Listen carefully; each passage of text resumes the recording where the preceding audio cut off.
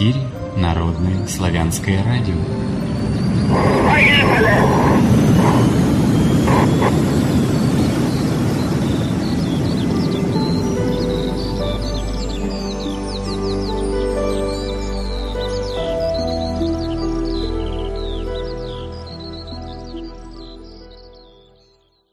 Всем здравия! С вами Народное славянское радио. Сегодня у нас 21 января 2016 года, четверг, по одному из современных календарей, а по одному из старинных, 41 день месяца Белого Сияния Покоя и Мира, 7524 лета. И мы начинаем живой эфир, который будет посвящен теме «Эволюция разума». Главный соведущий Юрий Алексеевич Тяжелов. Здравия тебе, Юрий Алексеевич. Здравия всем.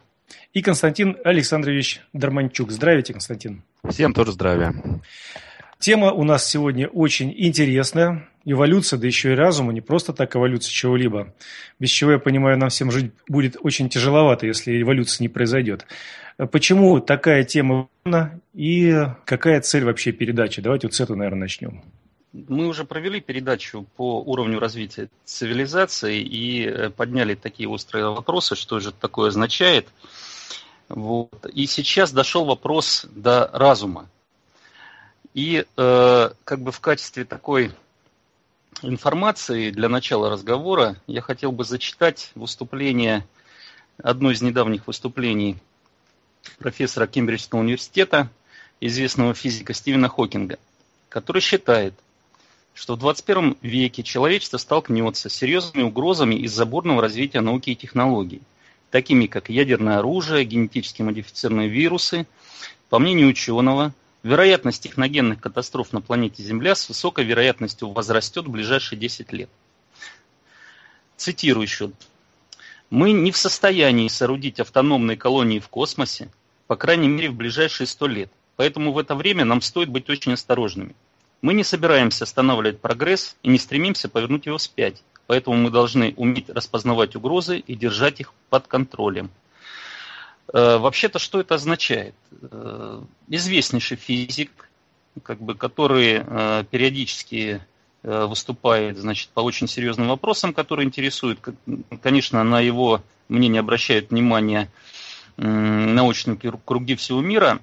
Если перевести на философский язык, а, между прочим, определенную оценку вот этому выступлению, уже, она уже была сделана в интернете, то можно заметить, что э, в настоящее время э, вот эта неразвиваемая константа человечества, э, как э, пишут блогеры, да, звериная компонента, неизбежно приведет к антропогенным технологическим катастрофам в самое ближайшее время. Спасение для человечества Хокинг почему-то видит создание автономных колоний в космосе. А поскольку он считает, что в течение 100 лет создание таких колоний невозможно, выход один – держать опасные технологии под контролем. То есть человечество не, не развивается, а технический прогресс развивается. И появляются технологии, э, как бы такие, которые могут существенно изменить э, как бы вообще общество и повредить обществу. Лазерные технологии, химические, сетевые э, приводят к возможности небольших групп людей влиять на судьбу, судьбу человечества в целом. Это терроризм, компьютерные взломы, боевые вирусы, грязные бомбы уже обсуждаются в очень многих, скажем так, террористических организациях, примен... могут быть применены. И вот если наложить вот эту неизменяемость человека на ускорение технологического прогресса, то никакой контроль, э, возможно, кроме тотального, э, над сознанием каждого из людей не, не сможет купировать угрозы для человечества. Каким-то способом, рано или поздно, какая-то убойная технология может появиться в руках групп, подобных ИГИЛ. Э, такие группы даже в большей вероятности будут заботливо снабжены такими технологиями. И вообще, все дело идет к этому, о чем беспристрастно фиксирует Хокинг. Есть ли шансы у человечества без потерь вырваться из этой ловушки? Ну, э, для этого, как говорит Хокинг, технический прогресс останавливать не надо, а надо контролировать процесс. Но, может быть, надо всего лишь вернуться к природе человека, то есть э, и подняться с сегодняшнего весьма непрезентабельного уровня до уровня подлинного человека. И по неволе приходится задумываться, и мы уже эту передачу проводили, в каком состоянии находится вот эта разумная деятельность цивилизации. Получается так, что основное, основное качество разума – это то, что именно на основе э, разумной, ну, на основе мышления одного из характер... одной из характеристик разума, на основе непосредственно вот этого свойства э, живых организмов э, проявлять разумные э, определенные действия. И основываются дальнейшие действия человечества, должны основываться. Но современное образование, впрочем, и наука, она не позволяет передать, что такое разум. И достоверно э, донести до общества его качественные характеристики. С одной стороны, наука не смело освещает то, что связано с эволюцией разумных существ. Что представляет собой человек. То есть не смело, ну, как бы можно сказать, Э, очень ограничено. А с другой стороны, при этом, как вы можете заметить, активно разрабатывает методы по управлению человеком. А ведь знания о человеке способны изменить общество. Но также они могут использоваться для контроля и управления целыми странами, континентами и цивилизациями. Может быть, поэтому само слово «разум» перестали произносить в нашей жизни. И так как каждое действие человека, проявление разума, а действие общества – отражает совокупный разум этого общества, то, может быть, следует обратить внимание на разум, что это такое, и эволюцию разума. Давайте посмотрим, э, как подменяется понятие разума. Какие ассоциации могут возникнуть сейчас в связи с этим словом? Ну, например, э, если взять, как бы обратить внимание в прошлое, то есть мы все Э, были, учили в школах, многие в институтах. Это такое некое понятие, отделенное и далекое от проблем общества, ближе к научному понятию. Воспринимается это слово во многом в качестве чистого интеллекта, такой, без эмоций. Ну, можно привести еще искусственный интеллект, тоже вот искусственный разум говорят. Есть еще ассоциация, как вот внеземной разум оценка такая. Ну, то есть вот разум, есть внеземной разум, но что стоит за этим понятием, а, во многом запутано.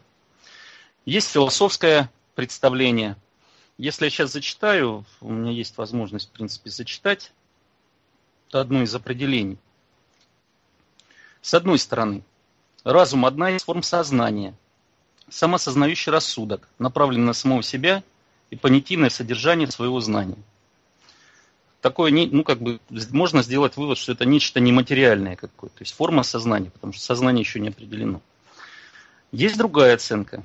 В современном научном обществе точка зрения о том, что разум есть продукт работы мозга, является главенствующей. Ну, на самом деле, э, научные представления э, достаточно далеки, и вот в течение нашего разговора будут э, некоторые моменты проявлены. Э, как бы, что же такое разум и где же наука остановилась в этом понятии. То есть до чего она дошла, куда дальше пройти не может. Э, если обратить внимание на общество, с одной стороны, поведение в обществе продиктовано э, обычаями, законами, устоями, традициями и ценностями. Вот что в этом описании необычного? Вот вообще-то к этому всему привыкли. То есть это как бы такое Э, базовые такие понятия в обществе, а то, что в этих понятиях намека на разум нет. И, впрочем, это неудивительно, потому что в головах ученых огромная путаница с вопросами разума и с вопросами эволюции разума. Вообще-то нет даже видимой взаимосвязи между вот традициями и разумом. То есть, как бы, традиции существуют сами по себе, а вот то понятие, которое у нас вызвали вот ассоциация, оно как бы разума существует отдельно. И для чего же мы подняли эту тему эволюции разума? Чтобы в первую очередь раскрыть понятие разума, чтобы показать наличие самого процесса эволюции. Это необходимо для естественного, спокойного процесса развития человека и общества. Потому что без качественного понимания этого процесса нельзя увидеть дальнейшие правильные действия по изменению социума. То есть их и увидеть нельзя, и, соответственно, сделать нельзя. И что это такое за качественное состояние разума, которое он проходит в результате эволюции? Что из этих качественных состояний, какие выводы можно сделать? Вот эти качественные состояния можно увидеть в животном мире и в процессе последовательного роста человека после его рождения. Почему примеры на животном мире очень показательны? На животный мир следует обращать внимание, чтобы понять, как разум эволюционизировал до человека.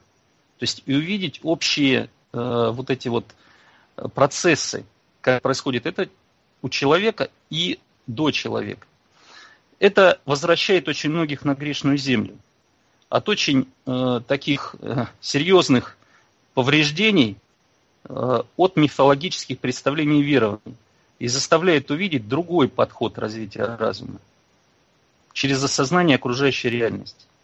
Это альтернатива догматическим представлениям, заложенным в образовательной программы в институтах нашего социума. И продолжить я э, для продолжения передам слово Константину, который в том числе раскроет вопрос, что такое, в чем разница между умом и разумом. Так, подожди, Юр, э, так как в анекдоте, а потрендить, вот тут я сказал, давай мы как бы говорим да, то, что, да, то, да, что да. ты говорил. Э, вот да. когда ты разговаривал про умных дяденек, всяких ученых, которые говорят, ну, если вот мы технологии не можем обуздать, мы должны обуздать людей. То есть каждому чип вставим, каждого будем регламентировать его поведениях, каждого сможем затормозить в случае чего. То есть сделаем таких баранов, у которых бирочки да, вставлены. Но только не обычные бирочки, а такие управляемые бирочки. Это говорит о чем, на мой взгляд? Первое. Люди боятся обезьян, которым в руки может попасть граната или автомат. Правильно?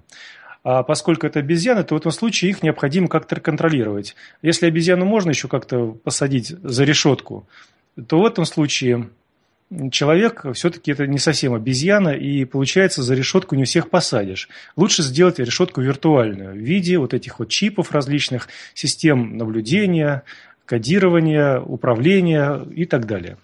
Верно я тебя понял, да? Ну, желание-то у некоторых э, есть э, такое сделать, но вопрос-то в чем?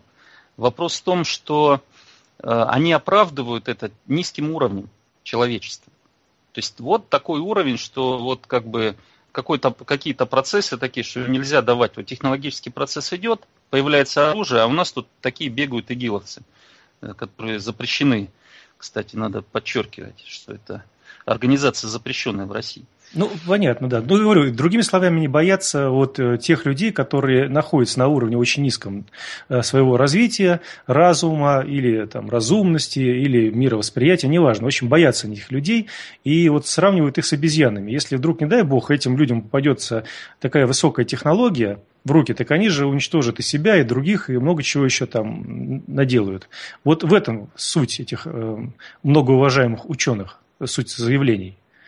Э, и исходя из этого, они, получается, не стремятся развивать самого человека до высокого уровня понимания этого мира, до развития его разума, до хороших таких высоких кондиций, а просто хотят его, этот разум оставить на том уровне, который он и есть, которым можно просто манипулировать, управлять, направлять, если надо, куда им нужно – чтобы получать как с барана какую-то дань в виде чего-либо, да, но при этом, чтобы им было проще управлять, они хотят вставить э, вот эти вот чипы, которые не только будут помогать отслеживать, где находится человек, но еще и через которые можно этим человеком управлять, манипулировать. То есть нажал на кнопочку, там боль какая-то случилась, человек, значит, э, отрубился и не может что-то делать. Или нажал на кнопочку, все данные стерлись, у человека, грубо говоря, на счетах ноль, никто не знает, кто он такой, и он отсиживается спокойно в обезьяннике, у мен... Э, чуть не хорошо сказал, в полицейском участке, и с ним разбираются, кто он такой. То есть, вот, грубо говоря, вот к этим простым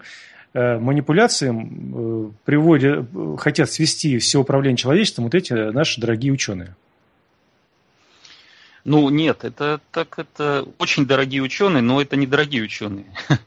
Э, то есть это, в принципе, целый, целый процесс, который процесс порабощения, да. А вот, такие, вот такая аргументация, что э, следует из уст научных этих э, представителей, да, то есть там даже физиков, как бы, очень ценимых научным сообществом, она говорит о том, что, в принципе, наука-то стала прислужницей вот этих планов.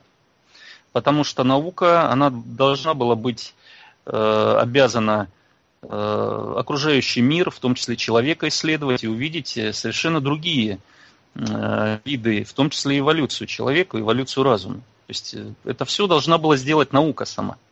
А теперь получается, что даже в словах вот этого Хокинга там нету слова про разум. Никакого. То есть как бы они сам процесс разума они даже оценить не могут. Э, но, тем не менее, эти ученые оценить не могут, но те, которые делают э, непосредственно манипуляции над обществом и цивилизацией, там этими знаниями обладают. То есть они представляют хорошо, что такое человек и э, каким образом можно вот эту эволюцию остановить. И, кстати, вот в продолжении будет еще об этом сказано. Вот, потому что дело в том, что сами вот это знание, оно доступно. То есть, в принципе, те вещи, которые мы сегодня будем рассказывать об эволюции разума, это, в принципе, они, это открытые источники, ничего необычного в этом нет. Просто вопрос в том, что сами процессы, э, они до конца не были простроены, пока не появились определенные труды э, ученых настоящих. Вот. И э, как бы я думаю, что будет очевидно для слушателей, когда вот сегодняшние определенные будут высказаны э, аргументы, что в этом ничего сложного, но, но нет. И, то есть прослеживать эволюция разума прослеживается от животных к человеку. И даже при э, человеческом развитии, вот от от после его рождения, да, то есть те же самые эволюционные вещи прослеживаются одинаковые. И это говорит очень о многом.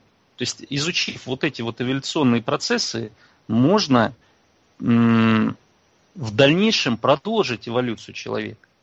Угу. Вот к чему, в принципе, наш э, разговор. А продолжив эволюцию, то есть, в принципе, даже на тех позициях, которые будут высказаны, можно увидеть, что решение это совершенно простое. Решение простое. И вот э, как бы это говорит глубину погружения науки в мир невежества. То есть вот, ну, невежественная наука на текущий момент. Я тебя понял. В общем, получается, ты все мои доводы подтвердил, то, что наука слишком дорогая для нас стала. Я же не просто сказал слово «дорогой», слишком дорогая для простых людей, потому что за счет простых людей она существует и их принижает, не дает им возможности развиваться. Наука служит не на благо человечества, а на благо тех, кто управляет человечеством в своих целях. Э, наука, управляемая вот этими управителями боится того, что люди выйдут из-под контроля, не стремится развивать их разум, превращая их в высокоразвитых существ, э, человеков, а хочет их оставить на уровне человекообразных существ, которыми очень просто управлять, чтобы при управлении получать какие-либо барыши тем, кто управляет всем. Вот такая витиеватая речь, но по сути ты подтвердил все, что я э, хотел тебя вот спросить. Благодарю тебя. Давай теперь Константина послушаем. Константин Александрович, пожалуйста, включайся в нашу беседу. Значит, сегодня тема нашей беседы – это эволюция разума. И я попробую рассмотреть процесс эволюции разума как неотъемлемый процесс развития любого общества вообще. Но прежде чем начать, я хотел бы сказать, что, э, думаю, любое знание, получаемое человеком, э, будет оставаться бессмысленным, если человек не будет стараться самостоятельно разобраться в получаемых им сведениях. Ведь человеку естественно искать причины появления знаний, видеть следствия, которые непременно будут следовать от того или иного использования этих знаний. То есть заниматься анализом полученной информации и ее синтезом для дальнейшего своего действия. Вот, как бы как вступление, да. И прежде всего я хотел бы уточнить разницу между проявлением ума и проявлением разума, как э, некоторой системы взаимодействия с миром, окружающим нас. Э, ну, чтобы понять на примерах их отличия. Ведь понимание разницы между умом и разумом, именно это понимание даст возможность ответить э, на те вопросы, которые будут сегодня подняты нашей передаче. Так в чем же разница между умом и разумом?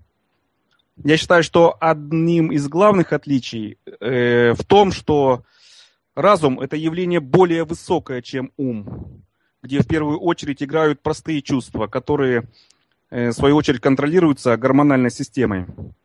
Так, по словам э, доктора биологических наук, профессора Савельева, ум человека в основном занят тем, что принимает приятное ему и отвергает неприятное. Это его слова. А, я думаю, что разум также способен принимать и отвергать, но разум сосредоточен на выборе благоприятного для человека и отбрасыванию опасного, то есть неблагоприятного. И еще важное замечание, что разум делает свой выбор на уже имеющиеся у него некоторой базы, э, ну, так называемые ценности, да.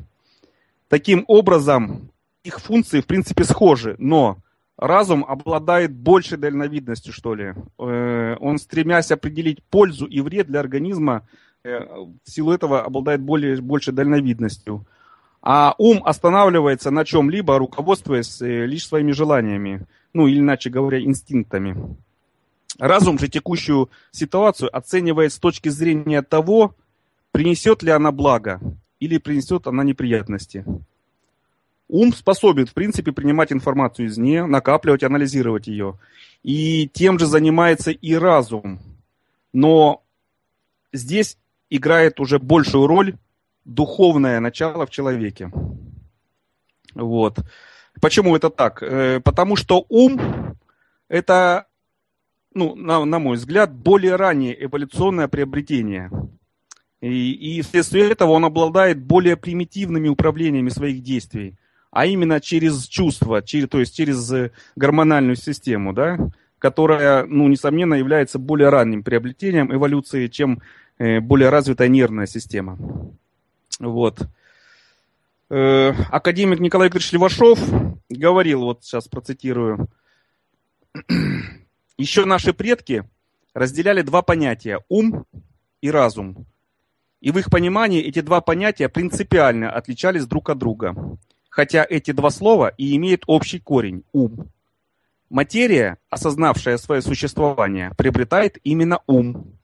И только тогда, когда носители ума достигнут просветления знанием, только тогда проявляется разум. Способность мыслить еще не означает разумности.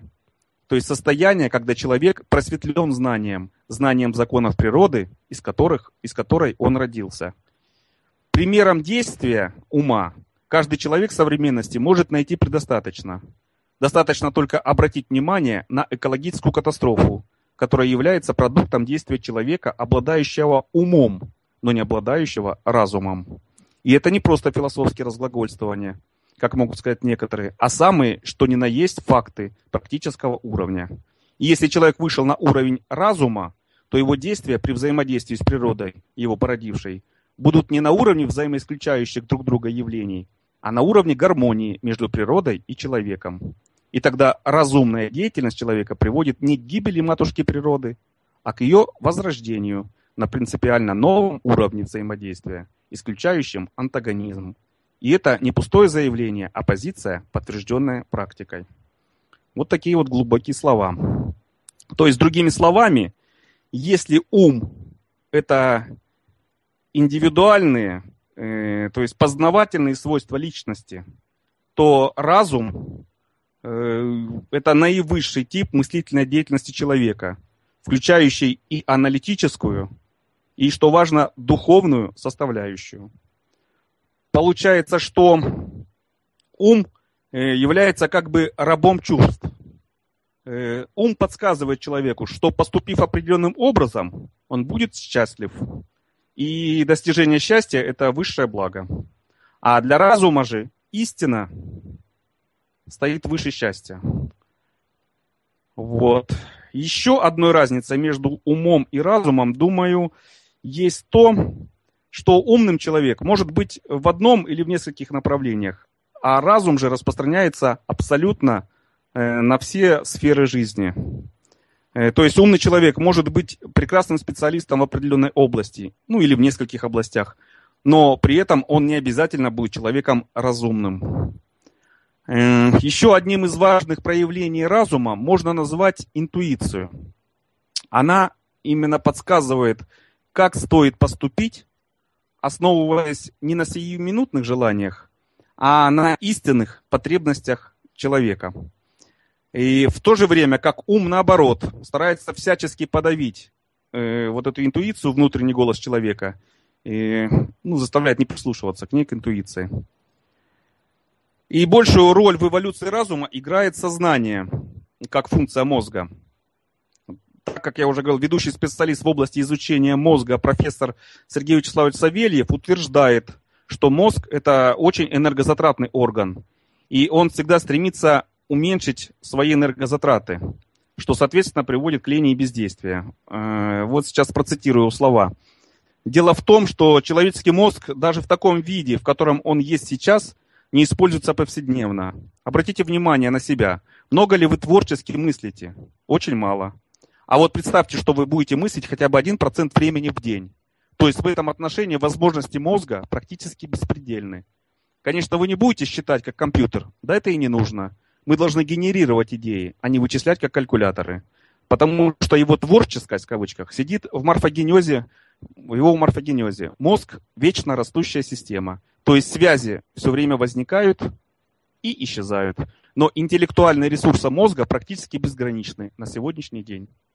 Вот такие слова. То есть, к сожалению, в основном современное общество действует по уму, а не по разуму.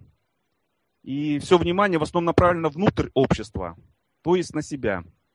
Однако именно э, в окружающем нас мире можно увидеть и осознать важные для человеческого сообщества законы существования, э, которые, проявление которых э, вызывает позитивные изменения в эволюции. Для этого иногда э, нужно погрузиться и в животный мир. Вот, например, в 2000 2015 году в средствах массовой информации мне на глаза попалась одна интересная новость. Э, в Эфиопии, э, это в Африке, стая красных волков неожиданно изменила свое агрессивное поведение по отношению к соседствующим в этом же ореоле обезьянам-бабуинам.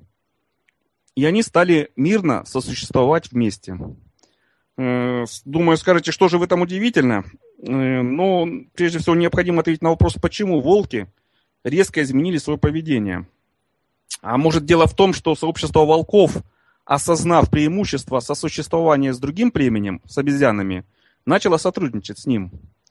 И, хотя волки и охотятся и на молодых, на молодых э, овец, овец, коз, да и на тех же самых обезьян, э, ну, они такие же крупные, как и бабуины, в принципе. И волкам ничего не стоит напасть на их.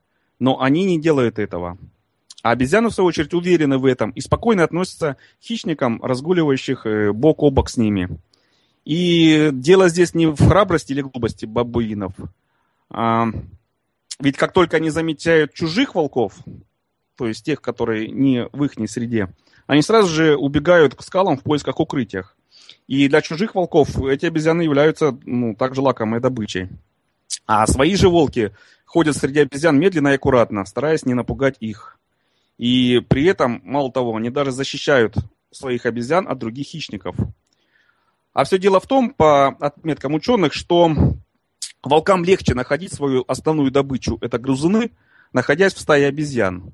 Так, по наблюдениям ученых из Оксфордского университета, вероятность удачной охоты на грызунов в стае обезьян составляет 67%, а вне стаи обезьян удача Э, к сожалению, покидает волков, и не более четверти или 25% попыток завершаются э, добычей в зубах.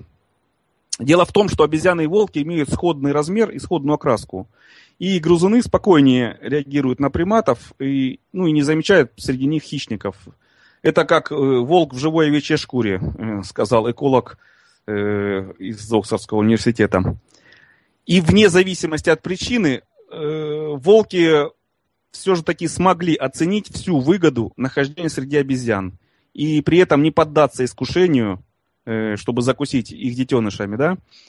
Наблюдатели э, лишь однажды видели, что волк схватил молодую обезьяну, э, но соплеменники обезьян напали на хищника, отбили детеныша и при этом еще прогнали нарушителя своего так называемого договора прочь из общей стаи. И при этом э, остальные волки не препятствовали в этом обезьянам и спокойно отнеслись к изгнанию их изгоя-соплеменника из общей стаи. Константин, вот. давай да, мы сейчас остановимся, э, включим угу. музыкальную паузу, послушаем да, хорошую музыку, потом мы продолжим про волков и обезьян.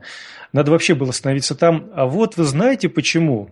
И сразу переходить на музыкальную паузу. Пускай бы наши радиослушатели подумали и свои версии придумали, а почему. Ну что ж, так или иначе мы переходим к музыкальной паузе. Четыре минуты у нас есть. Расслабляйтесь, отдыхайте.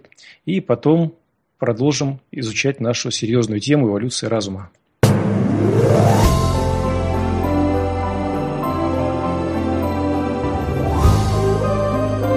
Эфире Народное славянское радио.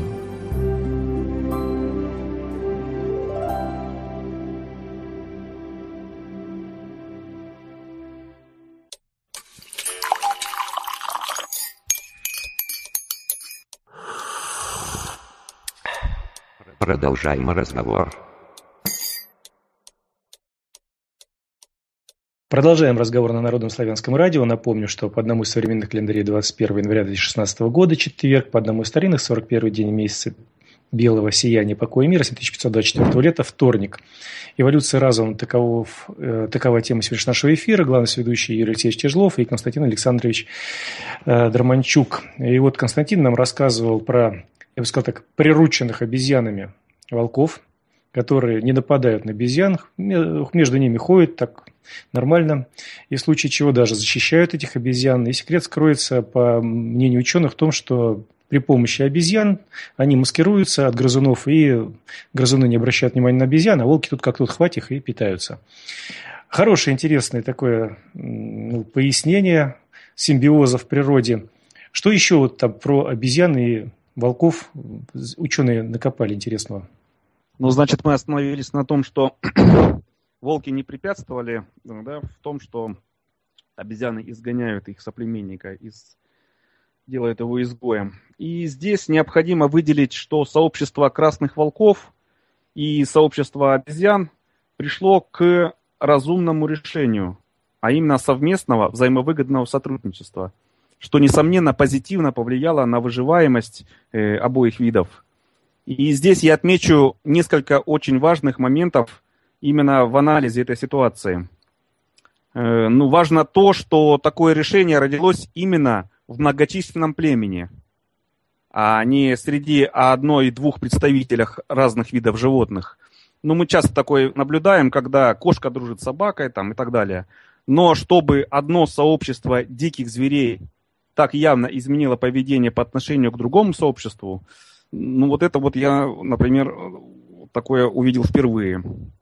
И самое важное, на что редко обращают внимание, так это на проявление у животных элементов разумности.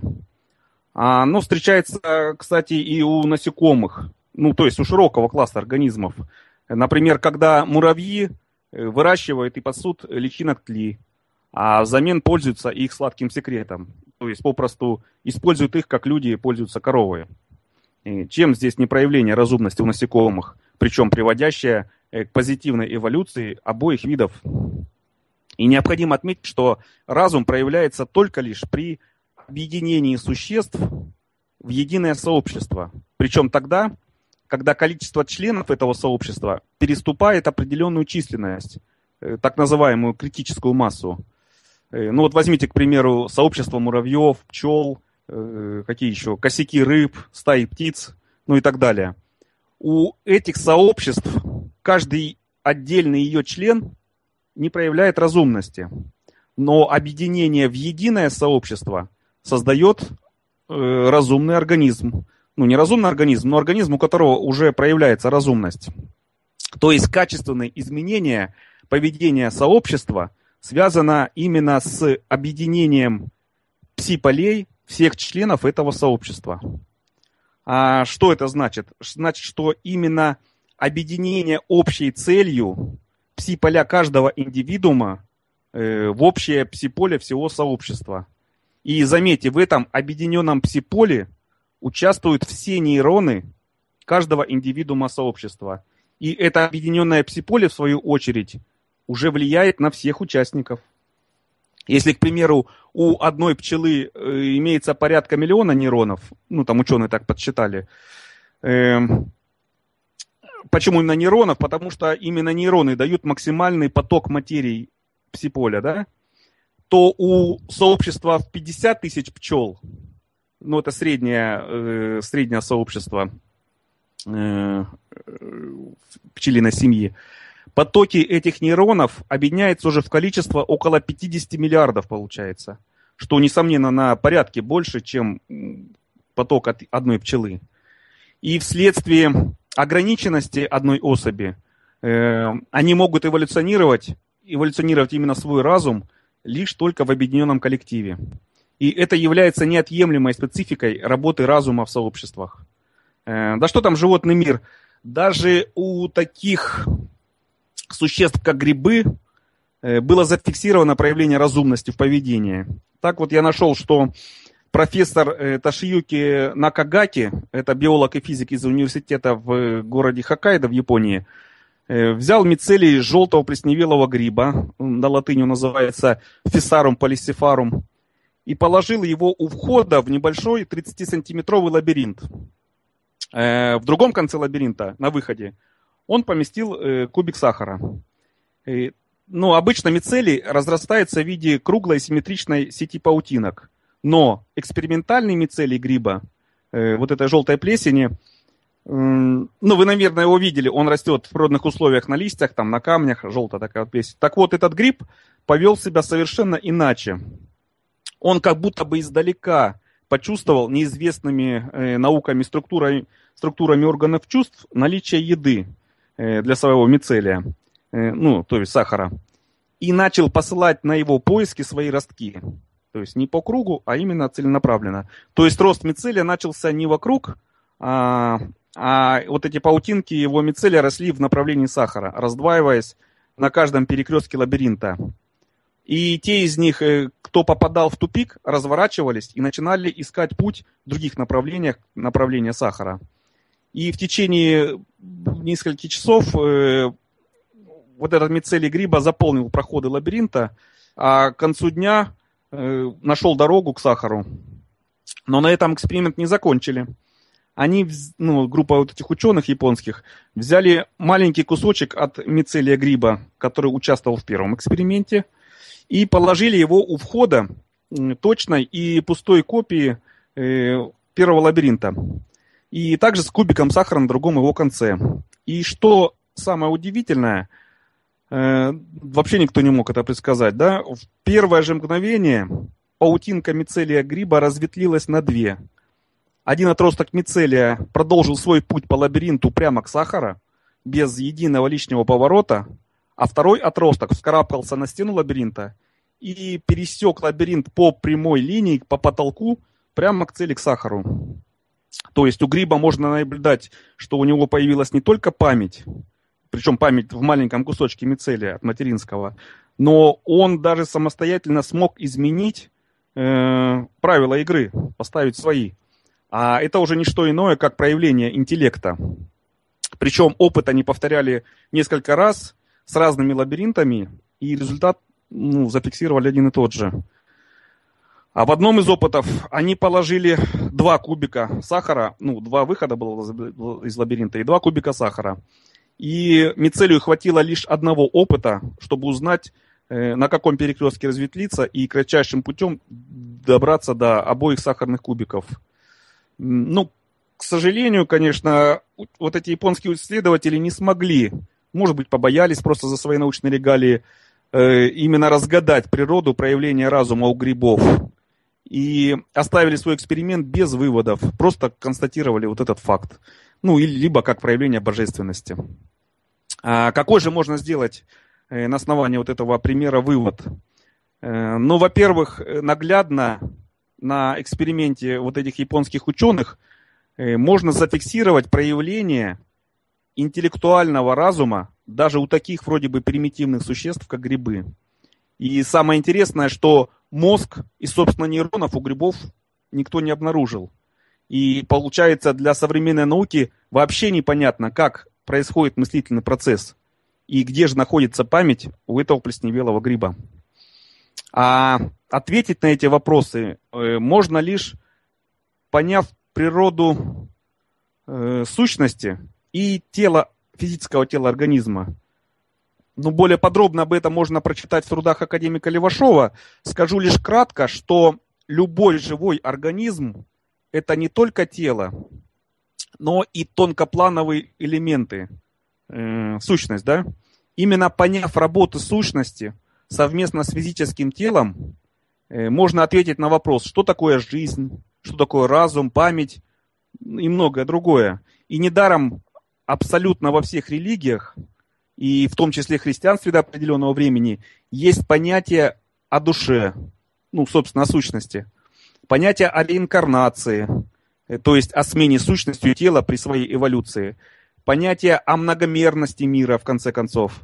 Ну, это существование помимо нашего мира, еще, например, ну, в христианстве, например, ада и рая. Ну, или миров Нави и Прави в древнеславянском понимании.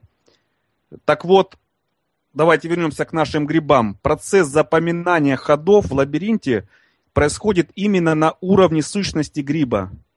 И тем более на уровне его сущности происходит процесс анализа ситуации. Помните, как гриб выбрал кратчайший путь до источника питания?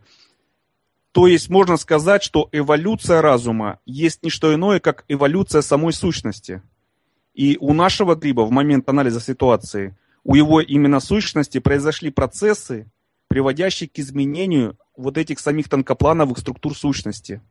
А эти изменения, в свою очередь, на сущности, так или иначе, рано или поздно отражаются и на самом физическом грибе. То есть эти изменения закрепляются уже на самом генетическом аппарате гриба. И так происходит постепенная эволюция сущностей, а вместе с ней и эволюция физического мира в целом. Вот такое наблюдение за матушкой природой с научным подходом и анализом э, подбрасывает э, людям ответы на процессы эволюции разума, да и на понятие эволюции вообще. И если вернуться к обществу, то эволюционный процесс – это и есть качественный, положительный для общества переход из одного состояния общества в другое, подчиненное процессу развития разума.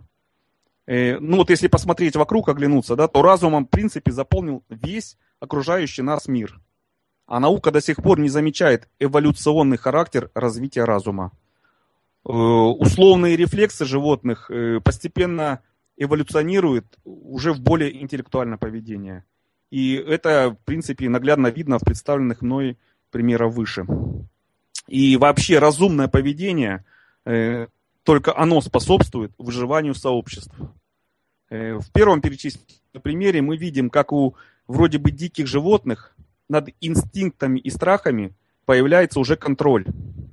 А что это значит? Это значит, что появляется управление и контроль своими эмоциями. А это, в свою очередь, уже отражается на всем гормональном балансе каждой особи этого общества.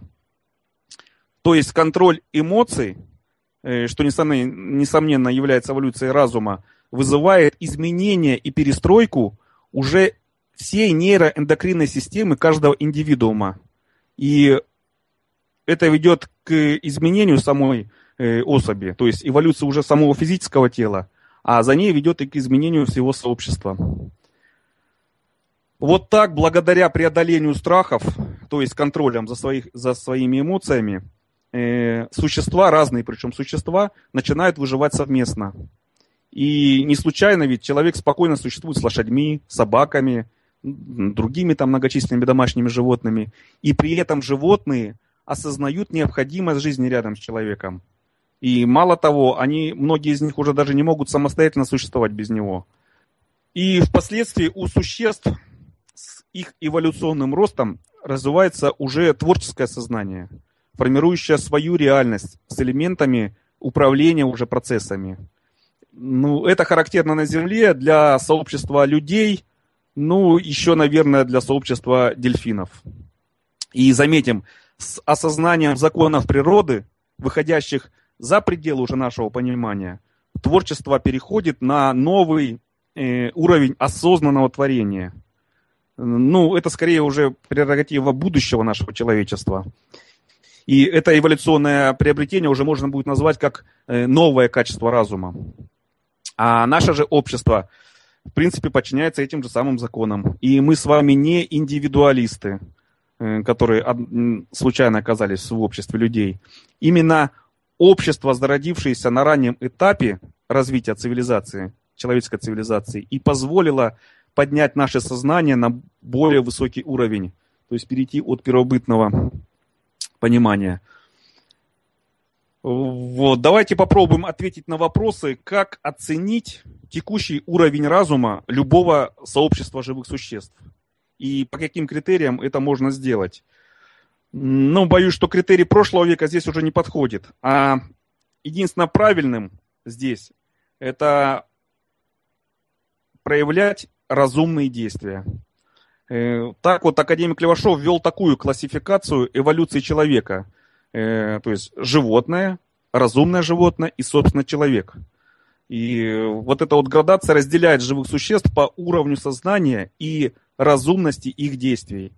И эти стадии своего развития так или иначе проходит абсолютно каждый человек, э, начиная от своего момента рождения и до самой смерти. Ну, наиболее показательно это можно разобрать на следующем примере. Так, американские этологи, ну, этологи это ученые, которые изучают социальное поведение у животных, причины отклонения их поведения в целом. Так вот, они провели эксперимент по введению так называемых трудовых отношений в стае обезьян-капуцинов. Э, Причем хочу обратить внимание, что вот эти обезьяны-капуцины считаются самыми глупыми приматов. И они им придумали э, работу за универсальный эквивалент работы, деньги. И работа состояла в том, что необходимо было нажать на рычаг с очень приличным усилием для обезьяны 8 килограмм. Э, а вес э, самцов этих обезьян ну, редко достигает там, порядка 5 килограммов. Ну, в принципе, это очень большое усилие для таких некрупных обезьян. Э, и даже не все самцы и самки могли этот труд, в принципе, даже сделать. Так вот, за каждое нажатие рычага обезьяна стала получать вознаграждение, кисть винограда. И как только они поняли суть, что нажатие на рычаг э, равняется еда, им тут же ввели промежуточный эквивалент еды, разноцветные пластмассовые кружочки, ну, своеобразные такие деньги. То есть теперь вместо винограда они стали получать вот эти вот деньги-жетоны, э, причем разного номинала. За белый жетон они могли купить кисть винограда, э, за синий две кисти винограда, там, за красный стакан газировки, ну и так далее. И тут началось самое интересное в этом эксперименте. Обезьянье общество расслоилось. В нем очень быстро возникли те же самые типы поведения, что и в человеческом э, сообществе. И заметьте, я вначале еще обратил внимание, что это самые примитивные из приматов. Э, в их э, обществе появились трудоголики, появились также и лодыри. Мало того, даже появились бандиты и накопители богатства. Одна обезьяна, по сообщениям э, экспериментаторов, умудрилась э, за 10 минут нажать на рычаг 185 раз. Ну, наверное, очень много хотелось денег заработать. А некоторые обезьяны предпочитали работе рэкет и начали отнимать деньги трудоголиков. Но главное, что было отмечено, у обезьян проявились те черты характера, которые ранее у них абсолютно не отмечались. У них э, проявились жадность, жестокость, месть, э, сильная подозрительность друг к другу, недоверчивость. И ученые также отметили, что обезьяны постоянно находились в стрессе. Их э, гормональный баланс адреналина там все время зашкаливал. И также было отмечено общее физическое самочувствие, ухудшение общего физического самочувствия. Э, наблюдалось уменьшение веса, даже несмотря на более усиленное питание за деньги. И э, тогда экспериментаторы начали просить одинаковое количество монет и за яблоки, и за сладкий виноград. И, естественно, стало, что яблоки пользоваться, ну, не пользовались успехом, а запасы винограда таяли. Но картина очень сильно поменялась, когда цена на яблоки снизилась вдвое. То есть за одну монету стали давать два яблока или там небольшую кисть винограда. И, то есть после небольшого замешательства э, обезьяны стали тратить практически все свои деньги на большее количество яблок. И виноградом только покупали его иногда, ну, как, как деликатес, пользовались как деликатесом. Вот. А когда в один из дней все подопытные животные в общей клетке уже знали, что одни предметы стоят дороже, другие дешевле, то одна из обезьян вообще придумала такую хитрую комбинацию и проникла в отсек, где экспериментаторы хранили все деньги. И просто-напросто присвоила все монеты себе и при этом сильно отбивалась от людей, пытавшись отобрать у нее добычу. И так было отмечено первое обезьяне ограбление банка. А дальше вообще, дальше больше. Э, прошло несколько дней, и капуцины открыли у себя такой феномен, как проституция. Так как многие самки физически не могли нажимать на рычаг, а кушать-то им хотелось, э, то они начали вступать в близость с самцами за деньги. Вот так вот за короткий промежуток времени обезьяны очень быстро освоили все современные так называемые либерально-капиталистические отношения. И что еще хочу отметить, что ученые, к сожалению, кроме как защиты докторской диссертации, дальше не пошли. А выводы здесь э, совершенно неутешительны для нашего общества. Ведь внедрение в денег в сообщество обезьян э, ну, наглядно расслоило его. И деньги проявили новые паразитические ниши и новые паразитические роли в этом обществе. А отсутствие общественных устоев и разрушение традиционного порядка поведения, и все это способствовало разруш... разрушающему обществу, обществу характеру действий его членов. Э, в этом сообществе обезьян вдруг появились негативные качества. И связано это с тем, что появилась возможность у одних участников общества паразитировать над другими. То есть появилось несколько паразитических ниш. И видно, что эволюционный уровень сообщества обезьян не смог преодолеть вот этого искушения. То есть он не смог отделить и ограничить вредные для общества действия, для всего общества, и воспользоваться только положительными факторами в, вот в этом искусственном изменении внешних условий. Но, к счастью, природа все стремится вернуть к балансу и гармонии. И ну, это является естественным процессом в природе. И, как вы помните, у обезьян эксперимент закончился расстройством гормональной системы ну, всех практически особей обезьян и сопутствующими этому стрессовыми болезнями. А в дальнейшем, я думаю, скорее всего, это привело бы просто к вымиранию особей. И здесь можно, в принципе, понять, как природа делает свой естественный отбор. И что ничего мистического в этом нет. Так вот, несут ли... Давайте сейчас перейдем, наверное, на музыкальную паузу, а потом продолжим, да? Да, вот как бы хотел, чтобы ты закончил все-таки, потому что у меня есть тоже свои какие-то выводы. Но раз ты предложил музыкальную паузу, а у нас еще есть минута, я сейчас так в раздумье, что все-таки сделать? Сходить за яблочком, как капуцин? Нет, шучу, конечно. Давайте включаем музыкальную паузу, насладимся красивой музыкой, а потом продолжим разбирать столь интересную и важную для нас тему.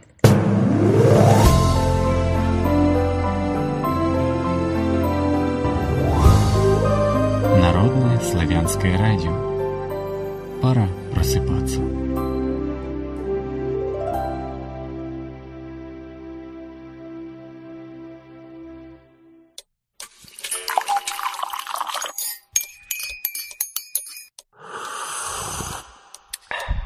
Продолжаем разговор.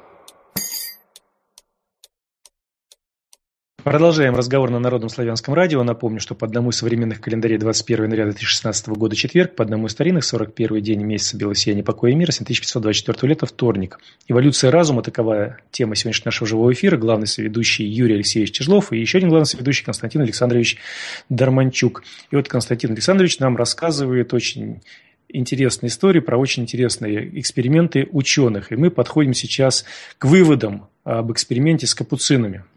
Да, ну, выводы я уже начал делать. То есть э, я подчеркнул, что они неутешительны для нашего общества.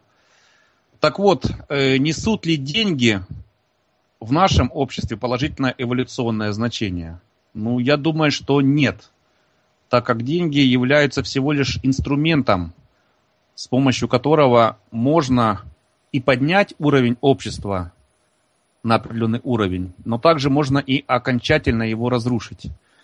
И вот этот вот пример с обезьянами, да, как раз об этом и показал, что если в дальнейшем мы, я думаю, продолжили эксперимент, то просто-напросто закончилось бы болезнями и смертью этих обезьян. Вот что происходит в обществе, когда отсутствует традиционное представление о морали и нравственности. И мы здесь можем видеть, как общество обезьян, находясь на недостаточном для преодоления разрушающих внешних условий эволюционном уровне и пользуясь лишь своим одним умом, постепенно деградирует и вымирает, вот в приведенном мной примере выше. И есть только один механизм, который дает стабильность общества вне зависимости от э, дестабилизирующих внешних факторов, а именно только проявление разумных действий с полным осознанием их последствий. Э, потому что только это может привести к эволюции общества, невзирая на дестабилизирующие это общество факторы. Или тогда мать природа возьмет все в свои руки. И тогда будет очередная эпидемия, катастрофа, очередной всемирный потоп и так далее. Что, собственно говоря, в примере мы и наблюдали. И если взять человеческое общество, то возникает вопрос, откуда в нем берутся люди или группы людей, не подчиняющие вот этим внешним разрушающим факторам.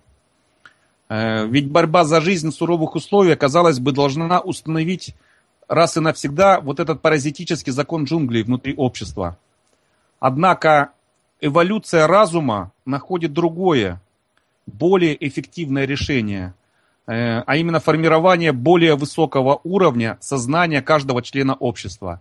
Именно осознание новых этическо-моральных ценностей каждого индивидуума общества и приводит к появлению новых отношений в обществе, приводящих к дальнейшей эволюции – именно это способно развивать любое общество дальше. Иначе будет тупик и деградация к животному состоянию. Именно появление лидеров э, вот с такими качествами может повернуть сообщество на новый виток своего развития. А возвращает так называемым истинным человеческим ценностям этих лидеров именно генетическая память. А эта память формируется многими тысячелетиями, если не десятками тысячелетий. Она откладывается в генетике каждого индивидуума общества, который ну, дал, соответственно, свое потомство. И если когда-либо на Земле был золотой век, что мы можем наблюдать из артефактов, то эта память есть в генетике потомков людей, живших в этом золотом веке. И эта генетика при развитии сущности человека на определенный уровень может быть ей доступна.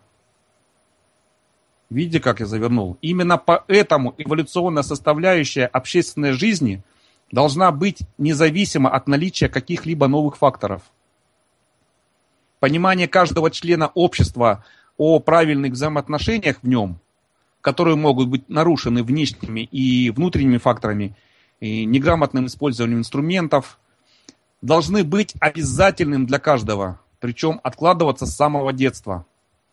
И в наше время значимость общественного устройства для развития разума явно недооценена. А ведь она давно доказана примерами, да из тех же животных сообществ. Часто человек понимает это лишь в, уже в окончательно в трудных ситуациях, когда ему уже требуется помощь общества. Однако отравление общества паразитизмом убирает самое важное его назначение, э, а именно дать возможность эволюционному развитию. Э, так как без общества, я считаю, эволюционное развитие в принципе невозможно. И странным является и то, что сам эволюционный процесс до сих пор, к сожалению, не заметен для общества. И именно искусственное ограничение доступа к знаниям уже сейчас даже становится слишком очевидным. Э, ведь ничего сложного, в принципе, в этом процессе нет. А его единственный недостаток – это длительность. Э, поэтому его можно скорее увидеть с позиции прошлого, который исследует человек. Механизм э, вот этого эволюционного процесса во многом идет методом проб и ошибок. И каждый день перед обществом стоит ряд задач, и задачи, часть из них общество может решать долго. Вот путем вот этих вот проб и ошибок. Так как поэтому, ну, вследствие того, что он просто не обладает э, изначальными знаниями, накопленными предками. И то есть происходит новый естественный процесс накопления опыта в решении этих задач. И накапливается новая уже база знаний. И со временем при достижении определенного уровня знаний происходит качественный переход, который поднимает э, уровень общества и, ну, соответственно, уровень каждого члена этого общества. И доступ к знаниям о человеке, к сожалению, сейчас целенаправленно блокируется, чтобы именно замедлить этот процесс. И его полная остановка возможна, ну, наверное, лишь при полном рабстве, на что, в принципе, и, и направлены технологии, все технологии там, финансового порабощения, различные методы геноцида и так далее. И этот процесс просто необходимо остановить и развернуть вспять. И здесь ведущую роль играют именно знания. Знания именно об эволюционном процессе. И, в принципе, эти знания нам передал э, Николай Викторович Левашов. И примеры, которые я привел, они наглядно говорят о том, как человек может осознать и применять образ эволюционного процесса, а также сознательно направлять общество на свое эволюционное именно развитие, а не деградацию. И в заключение хочу отметить, что возможно искусственно повлиять на процесс эволюции. Как затормозить его, что в принципе мы наблюдаем сейчас, так и, что важно для нас, ускорить его. И для последнего очень важно именно вот, э, как я уже говорил выше, распространение знаний Левашова. Ведь он неоднократно говорил о том, что необходимо преодолеть влияние вот этой паразитической системы и встать уже на путь эволюционного развития э, всего нашего общества. Вот как-то так. Последние исследования привели меня вот к таким вот выводам. Именно об э, процессе эволюции разума. Как, в принципе, неотъемлемом процессе э, развития любого общества. Хорошие выводы. А скажи, ты вот говорил про эволюцию, которую можно затормозить или ускорить. Ты имел в виду что? Эволюцию человека или, или эволюцию общества? Эволюцию человеческого сообщества. Но через человека или просто в данном случае мы говорим о всем обществе, что вот эволюционирует все общество? Или а если общество будет эволюционировать, то и индивидуумы, то есть люди, которые входят в это общество, естественно, они тоже будут эволюционировать. А на твой взгляд, что первично? А тут нету яйца и курицы. Здесь это в части неотъемлемые. Тут одно без другого не будет. Тут нет первичности или вторичности. То есть эволюция каждого члена общества приводит к эволюции всего общества. А эволюция всего общества, соответственно, приводит к подтягиванию всех членов общества до определенного уровня. Эволюция всего общества, всех людей в обществе возможно ли одновременно сразу? Ну, начнем с того, что все люди разные. И появление именно критической массы вот, начнет приводить к эволюции всего сообщества.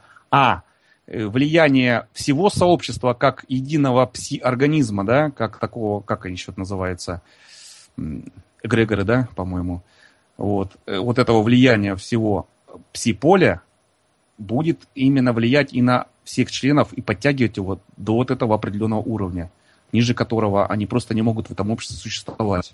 Ну, к примеру, вот общество, у которого нету преступности, да, и, соответственно, преступник там просто жить не сможет, правильно? Он mm-hmm. либо будет изгоем, уйдет в другую страну там жить, либо просто-напросто будет жить по этим законам.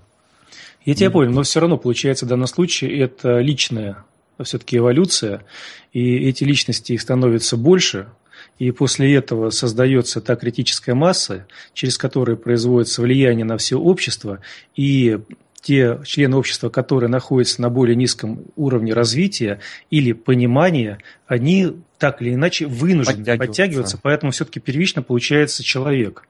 Сначала он эволюционирует, развивается а и дает возможность... Да, пожалуйста, Юрий. Здесь очень важный вопрос э, в, э, в том, что э, без общества человек не может эволюционизировать. Ну, то есть, получается так, что вот индивидуально исключительно индивидуально практически невозможно развиваться. То есть вы в любом случае, находясь в обществе, вы, э, скажем так, это вот, кстати, одно из тупиковых вещей, что мнений, да, что индивидуально можно развиваться. То есть вы определенные качества вообще не получите, если вы будете вне общества. Это, кстати, вы можете увидеть, как бы в том числе там, по отшельникам там, и так далее. Это всего лишь определенное, э, можно сказать, такое ограниченное развитие.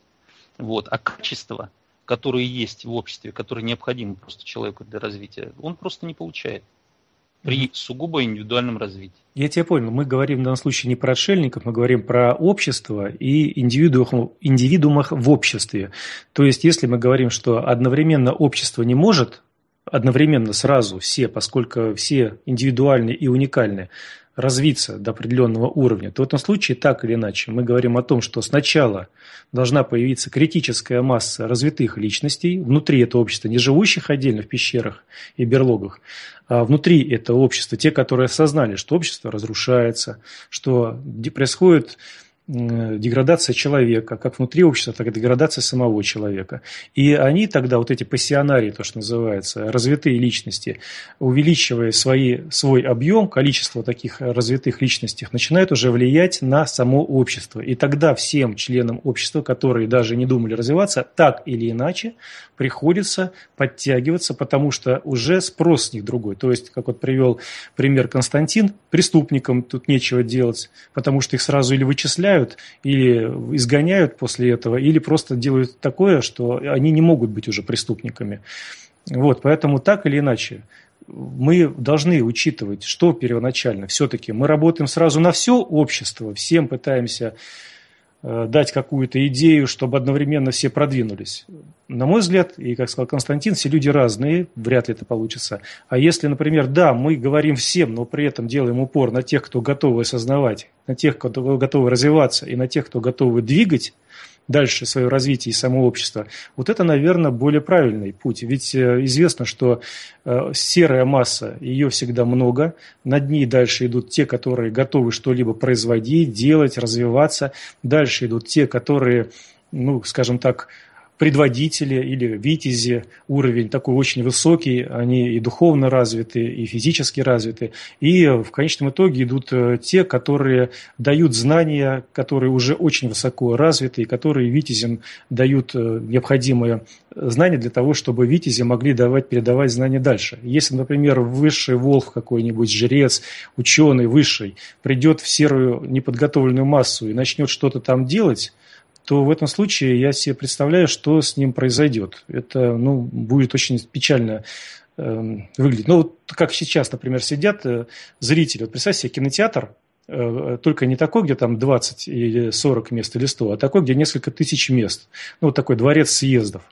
И его превратили в кинотеатр. И показывают там «Дом-2». И говорят, бесплатная там, э, вода, пепси-кола, э, бесплатные вам чипсы, бесплатная вам раздевалка, туалет, э, после этого дома 2 музыка бесплатно, пожалуйста, танцуйте. Но только, пожалуйста, приходите, вот вы должны сначала посмотреть дом 2 в течение там 6 часов.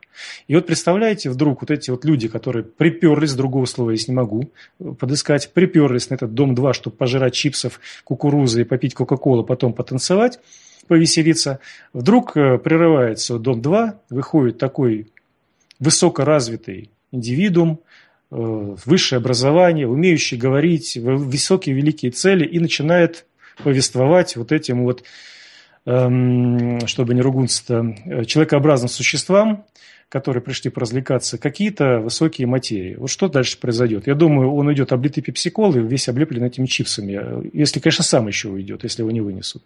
Вот поэтому необходимо учитывать ступеньки развития. Невозможно с первой ступеньки сразу прыгнуть на десятую ступеньку, если ты еще вторую, третью не прошел. То есть вот эта последовательность взаимодействия, связи, они должны каким-то образом учитываться. Вот я о чем спрашиваю, и вот вопрос мой. Все-таки мы должны до всех сразу действовать или э, понимать, что все люди разные, и все находятся на разных ступенях развития своей личной эволюции, своего разума, э, генетически, может быть, как-то по-разному устроены. И поэтому необходимо все-таки делать упор на тех, кто готовы продвигать идеи, чтобы становилось больше, больше, больше. И вот критическая масса дала все-таки толчок развития вот в этом обществе. Здесь однозначный ответ. Костя, разреши, пожалуйста. Значит, здесь ответ однозначный. Надо использовать все возможности. А это означает, что информации, то есть надо понимать ситуацию, что качественной информации не хватает. Поэтому качественная информация должна не, обез... не только ориентирована быть э, э, на, кон... на отдельных каких-то людей. То есть определенный уровень информации, например, та же самая, ну, ее можно назвать как азбука или букварь, да, для понимания, она должна быть ориентирована на всех людей. Абсолютно. И э, это означает, что в принципе нужно заниматься и тем, и другим. Потому что общество состоит и из тех, и других людей. Естественно, понимая о том, что люди разные. Так, Константин.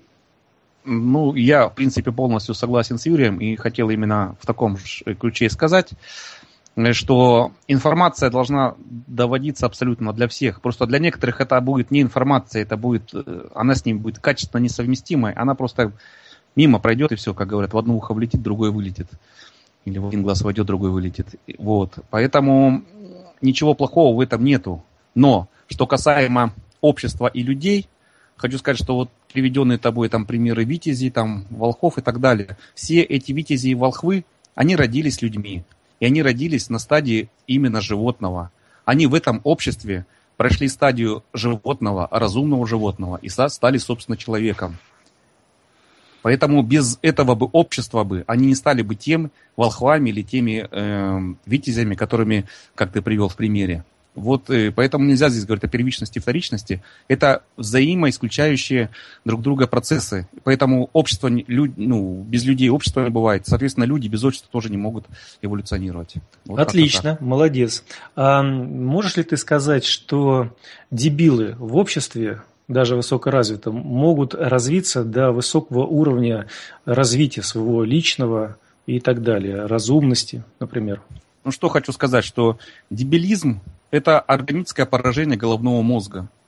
А развитие сущности может лишь э, происходить, когда поток э, от ДНК нейронов этого физического мозга несет определенный поток и доходит до определенных уровней в результате тех или иных действий человеком.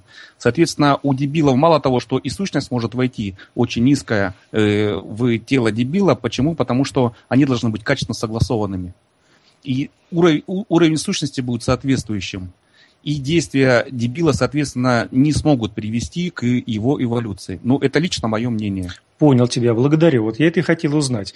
Так получается, если у нас есть дебилы, если у нас есть интеллектуалы от рождения, генетические. Ну вот генетически сложилось, что родился дебил. А рядом на соседней койке лежала мама, которая родила гения, который по своим предрасположенностям всем способен быть как минимум витязем. Я уж не говорю про волхва то неужели вот э, тот высокий разум, который здесь управляет всем и вся, видели это богов наших древних, видели это какого-то эгрегора, созданного богами и нашими предками, или видеть что-то другого, сейчас мы это не, объясни, не уточняем чем. Неужели он не подведет этого высокоинтеллектуального, готового к развитию человека на тот уровень, чтобы что-либо изменить, чтобы ему дать возможность развиться. Ведь сколько ты не упирайся в дебила, дебил дебилом останется. Можно, конечно, высокоинтеллектуального человека ну, опустить ниже плинтуса, да, но и все равно он будет там чем-то выделяться. Он может стать каким-то, э, если не великим витязем светлым, то хотя бы там каким-то витязем среди бандитов, да, но тоже может с какими-то интеллектуальными высокими там, представлениями, может, какой-то у него кодекс будет свой моральный. Дебил тоже может воровать, но при этом он как был дебилом, так остается. И в то же время, если пытаться в институт и того, и другого послать, где будут правильные учителя и так далее, то мы увидим, что один развивается и становится кем-то на высоком уровне, а второй, как он пришел, с тем он, в принципе, остается. То есть, учитываем ли мы в данном случае генетическую особенность, через которую наши пращуры, Э, наши боги, эгрегор или какие-то еще светлые сущности могут управлять и могут направлять вот этих вот э, личностей, которые потом в дальнейшем могут влиять на общество по той самой шкале градации, которую я нарисовал. Э, как я уже говорил выше, вот эту градацию животное, разумное животное и, собственно, человек – так вот, если, например, будущий Витязь, да, ну, не будущий Витязь, назовем человек, в которого вошла сущность, которая может развиться до будущего Витязя, при определенном э, помещении вот этого вот ребенка, например, в определенную социальную среду, и в этой определенной социальной среде он не сможет выйти до э, там 7, 8, 9 лет на, из уровня животного, то никакая сущность пробиться не сможет потом. И ничего сделать она уже не сможет, к сожалению. Это законы природы. Согласен. Вот. И поэтому этот Витязь так и останется пустоцветом. И он уже не вот эти все его наработки, э, его сущности в этой жизни, они уже себя не проявят при всем желании. Это вот как если из примеров, то это вот пример Маугли. Очень просто наглядный пример, да, может быть и всем уже скомину наел, да, но это очень наглядный, подтвержденный многими учеными пример, когда дети от нормальных родителей, помещенные в определенную среду, воспитывались там или в стае там, диких животных, или в стае бродячих животных, вот. И они уже никогда не смогли, хотя они абсолютно нормальные, э, полноценные э, физические и нормальные сущности, так как родители у них абсолютно нормальные. Это много таких примеров. И они уже людьми, они, может быть, даже научатся говорить, но именно стать интеллектуальными и проявить вот человечность и человеческие качества они уже не смогут. Они так и останутся животными. И так им управлять будут только инстинкты, а не разум. И, и это констатация факта. Это тут против этого не попрешь. Я согласен с тобой. Я-то говорю немножко про другое. Если мы будем опираться на уже одебиленных Маугли, которых сейчас огромное количество в нашем обществе, и пытаться с ними говорить на высокоинтеллектуальном уровне развития, мы, ну, как бы получим один результат. Если же мы будем говорить с теми, кто хотя бы генетически еще способен развиваться, и которые способны, с людьми, которые способны понимать, о чем с ними говорят, чувствовать это, у которых канальчик открыт, сущность общается, э, нейроны работают, ну, все вот эти качества, о которых мы говорили, то в этом случае, на мой взгляд, мы добьемся большего и быстрого, быстрее добьемся большего эффекта, нежели чем будем распыляться во все стороны.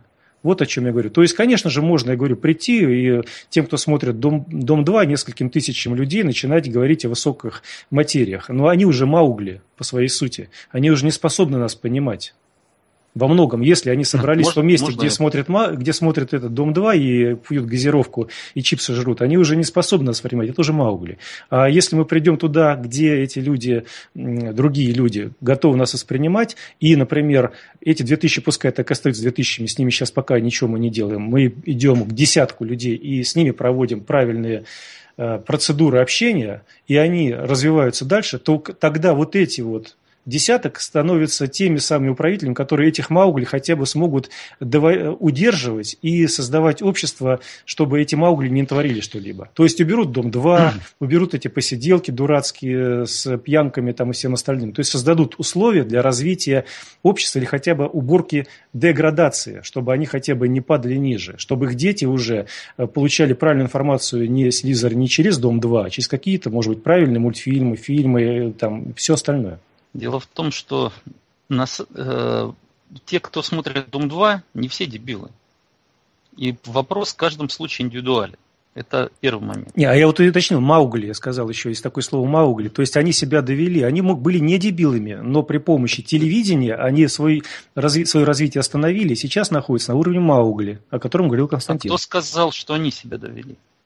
Ну, неважно, они же это смотрят. Им же никто да, не ходил не телевизором значит, по башке, не бил, не, не включал. Это, это может быть э, совершенно ситуация, все мы понимаем, есть все программы. Хорошо, согласен вот. с тобой. Человек в силу, да. Согласен, Юр, согласен с тобой. Смотри, какая ситуация. Э, они поддались, их заставили, им подсунули.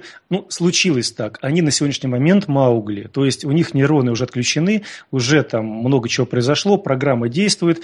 То есть, это Маугли, которые достигли уровня своего совершенства на уровне Дома-2, и дальше как бы сдвинуть единицы только из них получится.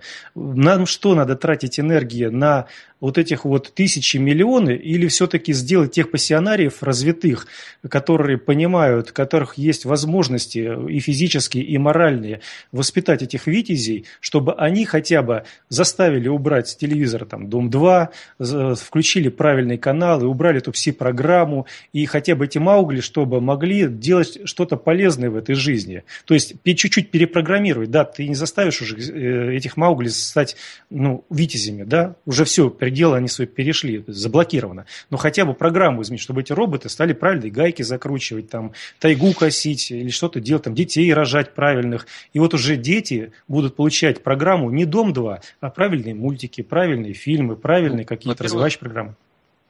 программы программирования не наш метод. Вот, потому что э, цивилизация, разумная цивилизация, она высокого уровня, она дает э, развитие. Развитие не бывает через программы, развитие приходит через осознание. Так, Юр, сейчас Но остановимся, и... музыкальная пауза, подожди. Вот запоминаем, да, что это не наш метод, вот запомнили. Это программирование, да. не наш метод. Останавливаемся, делаем музыкальную паузу. Красивая музыка, наслаждайтесь. И потом про не наш метод программирования поговорим.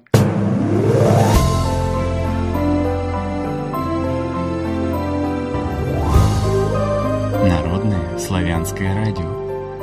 Обсудим вместе.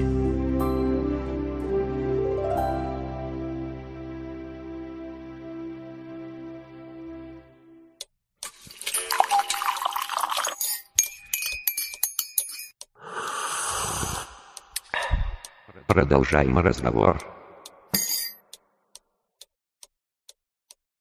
Продолжаем разговор на Народном славянском радио. Напомню, что сегодня 21 января 2016 года, четверг, по одному современных календарей, по одному старинный, 20, 41 день месяца Белого сияния, покой мира, 7524 лето, вторник. Эволюция разума – такова наша сегодняшняя тема живого эфира. Главный соведущий Юрий Алексеевич Тяжлов, Константин Алексеевич э, Александрович Дарманчук.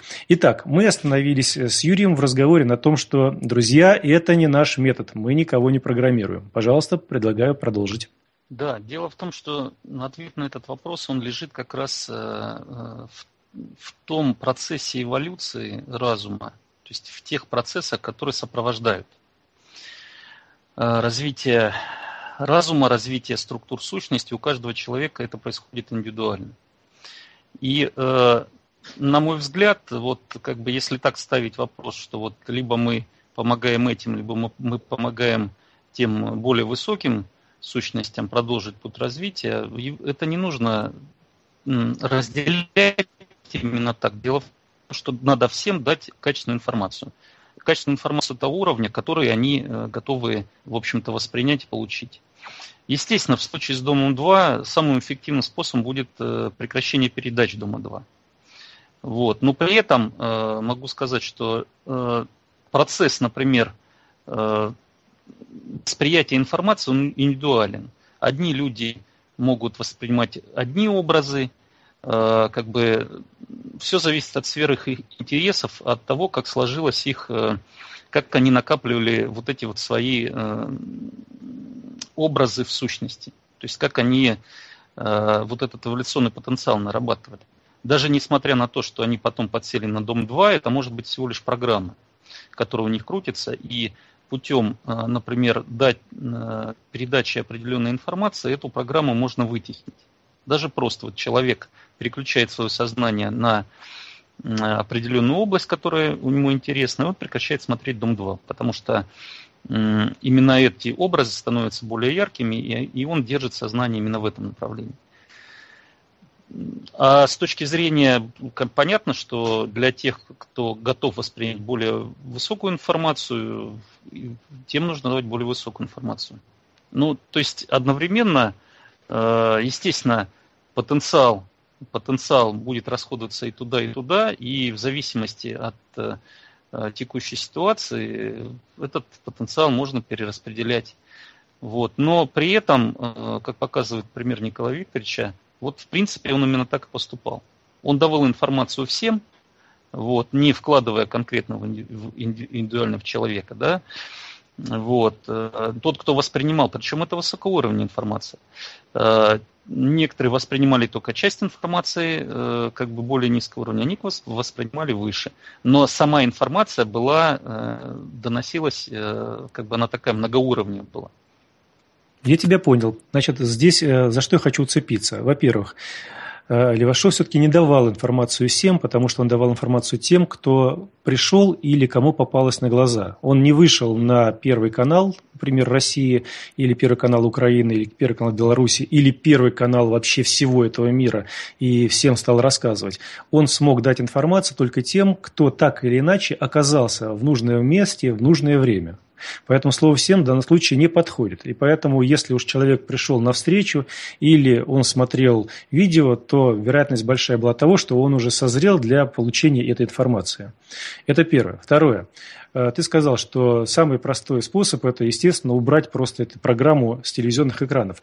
Вопрос, кто ее будет убирать? Сегодняшний наш эм, сегодняшнее наше общество показывает то, что управленцы, которые дают возможность барыгам крутить эти программы, заколачивая на рекламе деньги, они, в общем-то, не разбираются, что там эти барыги крутят. Барыгам главное, чтобы смотрели, а этим главное, чтобы платились налоги, грубо говоря, или чтобы народ находился в каком-то состоянии определенном. Не буду дальше развивать тему. Суть в том, что у нас нет на сегодняшний день рычагов влияния на какие-либо каналы, тем более на тот, где крутится Дом-2. И поэтому э, говорить о том, что мы всем можем давать информацию, это из этого исходит, что мы этого делать не можем на сегодняшний момент. Поэтому мы расставляем приоритеты. Я же еще начал. Естественно, что чем больше людей о чем-то услышат, чем больше зерен мы посеем, это лучше. Это вообще вопросов нет. И дебилу тоже что-то достанется. И Дом-2 Маугли тоже что-то достанется. И тем, кто еще не совсем Маугли, тоже что-то достанется. И тем, кто Витязи, Волхвы, будущее тоже достанется. Но приоритет. Мы должны разбрасывать зерна, просто идти везде. И на асфальт, и там, как в притче было, на камне, и на сухую почву, на песок. Или все-таки мы должны выбирать, в первую очередь, там, где этот урожай должен вырасти, чтобы потом хотя бы накормить накормить выросшим урожаем тех, кто готов вырастить и в дальнейшем принять его, чтобы ну, было превышение вот этой критической массы, чтобы мы могли повлиять на каналы, чтобы мы могли повлиять на барык, чтобы мы могли повлиять еще на что-то, создать новую идеологию, методологию без перепрограммирования, а хотя бы вот такими простыми способами. Вот о чем идет речь. То есть э, приоритет какие-то мы расставляем на сегодняшний момент, или мы говорим просто в идеале? В идеале я с тобой согласен абсолютно. Ну, во-первых, даже если бы Николаевич показали на Первом канале, это не значит, что посмотрели бы все абсолютно.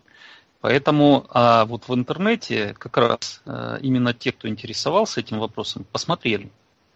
Вот. Естественно, а, информация блокировалась, информация как бы даже о том, что он был кандидатом в президенты, она как бы замалчивалась, там пару пару небольших роликов было по телевидению. Ну, все-таки показали вот. это, да, хотя и убрали. Э, да. Угу.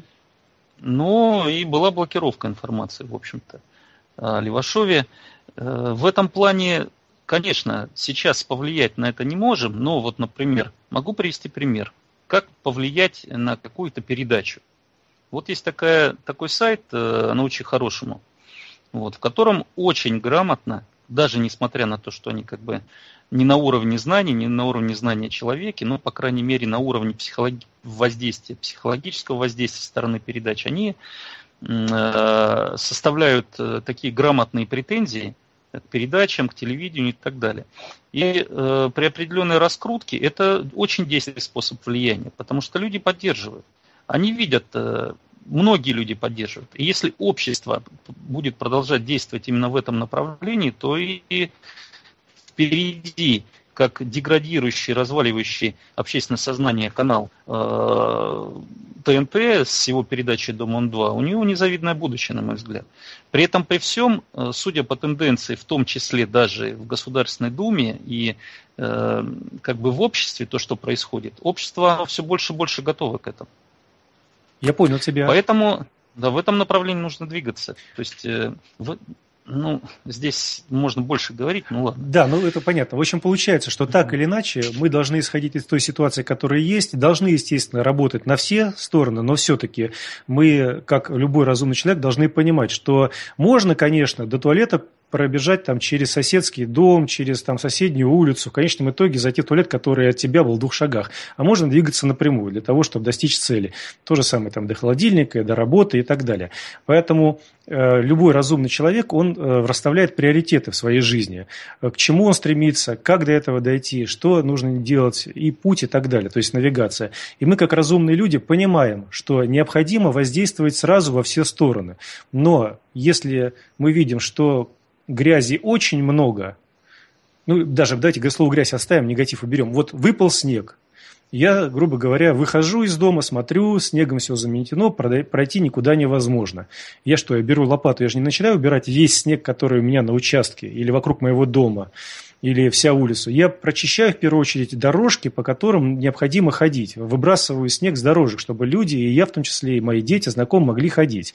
То есть я расставил приоритеты. Убирать весь снег, да, хорошо бы, если бы, например, он лежал более там, э, упорядоченно. Но такого не, нельзя сделать. И поэтому я свои силы вкладываю в то, чтобы их потратить э, для того, чтобы достичь каких-то определенных целей. То есть проложил дорожки. Вот то же самое здесь. Когда я говорил про управленческий вот эту структуру всю, я не то, что отвергал в своем вопросе, я же задал вопрос, а не как наставил. И не то, чтобы отвергал в своем вопросе, что не надо воздействовать на нижних. Просто я говорил на то, что необходимо сделать такие условия, чтобы соратников стало то большое количество, которые могли бы в дальнейшем быть пассионариями, изменять этот мир в сторону лучше. А те, к сожалению, которые стали Маугли, чтобы они в конечном итоге через влияние этих пассионарий также могли подключиться к процессу созидания, но на том уже, к сожалению, уровне, на котором они вот сейчас находятся. Вот о чем я спрашивал. И, насколько я понимаю, так или иначе, в общем, к этому мы тоже приходим. То есть разброс просто так э, ну, не всегда полезен. Все зависит от качества сущности. Дело в том, что э, даже некоторые высокие сущности, они э, обладают блокировками, и как бы в этот процесс могут не включиться. А вот это уже частности, Юр. Потому что вот это уже частности. А более низкие сущности, они могут включиться в процесс. И, и зависит от именно от желания. То есть это качество сущности. То есть сказать сразу, что вот это вот у этого человека более высокие потенциал может быть более высокий, а вот как пойдет эволюционный процесс, это как бы по-разному. Согласен с тобой. Может... Это из той же серии, как, например, иногда бандиты делают очень удивительные, добрые дела, на удивление, а иногда очень добрые люди делают э, отвратительные дела. Но это не говорит о том, что всегда бандиты делают добрые дела, а добрые люди делают отвратительные дела. Мы с тобой сейчас, в частности, давай не будем ходить, мы рассматриваем общую тенденцию вот. и пришли к тому, что есть это, и, в принципе, надо это учитывать. Не то, что действовать именно так, а учитывать. Ну, это вопрос э, вообще-то такой более широкий, такой непрерывной логики, потому что э, в обществе, общество состоит из множества людей, и э, если у тебя ты не особо не вкладывая потенциал, можешь доносить информацию до э, части людей, как бы это одна из первоочередных задач, до более широкой части публики, да, вот. Э, ну, а с точки зрения высокого уровня информации, вот обратите внимание, между прочим, э, информация ну, в сущности и разуме, она очень высокого уровня. Ее, в принципе, вот в одной книге, в одной книге информация очень высокий уровень, но восприниматься она может сначала первый уровень, потом второй уровень, третий уровень и так далее. То есть она уже присутствует, эта информация. Необходимо только заинтересовать человека вообще-то, как бы уже было названо, почему мы эволюцию разума назвали передачу. Вот, э, и вот самый характер, характер вот этой эволюции, уже, конечно, говорил, э, у животных в том числе, и у человека в период, когда становление его личности происходит, э, они очень схожи. И вот этот фактор, он подводит к тому, что такие знания, они э, позволяют человеку задуматься. Просто э, другого, вот как бы о природе человека мало кто говорит. И, э, а здесь еще вот в наших примерах, в принципе, мы хотели показать именно эволюционный процесс развития разума. То, что э, один, из, один из примеров является то, что для того, чтобы человеку стать человеком, собственно, чтобы его сознание в определенный момент проявилось, ему необходимо получить на разных этапах э, разную качественную информацию. То есть, если этой качественной информации не будет, то и сознание не появится. И, э, соответственно, это очень сильно влияет на общество, и у нас это э, как бы в обществе подзабыли. Потому что вот такие вещи звучат, да, вот представьте, мировое сообщество говорят, ну, в принципе, надо улететь на другие планеты, потому что здесь будут разборки. Вот. И это выход из ситуации, я считаю. Хокинг тот же самый. Получается, что вот совершенно, совершенно не видится тот момент, что человек, э, в общем-то, природа человека совершенно другая. То есть э, человек способен подняться на эволюционный уровень, способен контролировать себя и контролировать, и, соответственно, общество может быть на столь высоком уровне, которое не позволит даже возникать определенным в обществе процессом. И вот здесь, э, здесь надо сказать, что самые важные моменты я отмечу, которые я хотел рассказать. Во-первых, во-первых,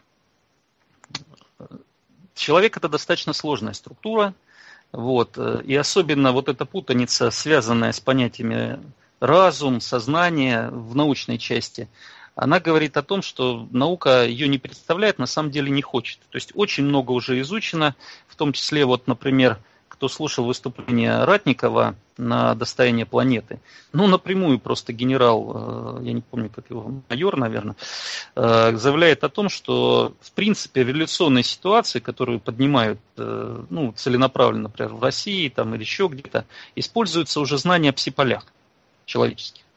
Что такое псиполя? А это вот как раз структуры сущностей человеческих, объединенных в единое поле. Вот. И э, это уже в принципе, вот представьте себе, когда это звучит из уст генерала, то есть получается это, несмотря на то, что в науке как бы такое понятие не распространено, но мы все понимаем, что в принципе это уже вообще-то известно. Вот. И э, Поэтому и следует обратить внимание на то, как происходит развитие сущности человека, потому что это мы сами-то и есть. То есть весь этот процесс э, подводит к тому, к формированию непосредственно нашего разума.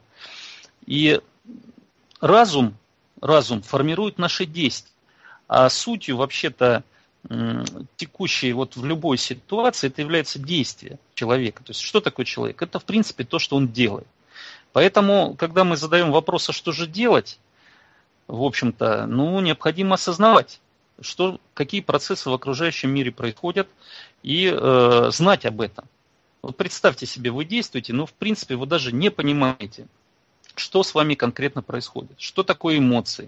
То есть вот на, э, у вас какие-то реакции на определенные эмоции, там сын получил двойку, значит, вы заболели, там еще что-то. Вот. Но вы же сами процессы не понимаете. И э, обратить внимание на вот эти непосредственно процессы, которые в человеке происходят, мы не хотим. Потому что э, непосредственно заболевание человека, значит, вот эти вот все его инстинкты, все, это, все, это эмо, все эти эмоции, это все элементы, те, которые даны эволюционно. Ну, то есть, ну, заболевания, конечно, могут быть эволюционными, могут быть приобретенными, но я имею в виду, что, в принципе, так как это человек, все это накоплено эволюционно. То есть все эти процессы, ну, все, эти все процессы можно изучить, и знания об, об этих процессах существуют, они есть. И получается, что э, основным, в принципе, является знание о том, о формировании общества, то есть как непосредственно это общество может сформироваться в таком виде, которое не позволит э, вот этим внешним воздействием неблагоприятным захватить его и э, играть, чтобы общество деградировало, создать такую ситуацию. Поэтому, э, как бы, что получается? Получается очень важно знать, что такое сознание человека. Потому что, как я заметил в самом начальном, в самом начале э, передачи, то, что наука э, дает очень мало информации, но очень здорово себя проявляет в области управления. И в чьих руках будет это управление, от этого зависит будущее цивилизации.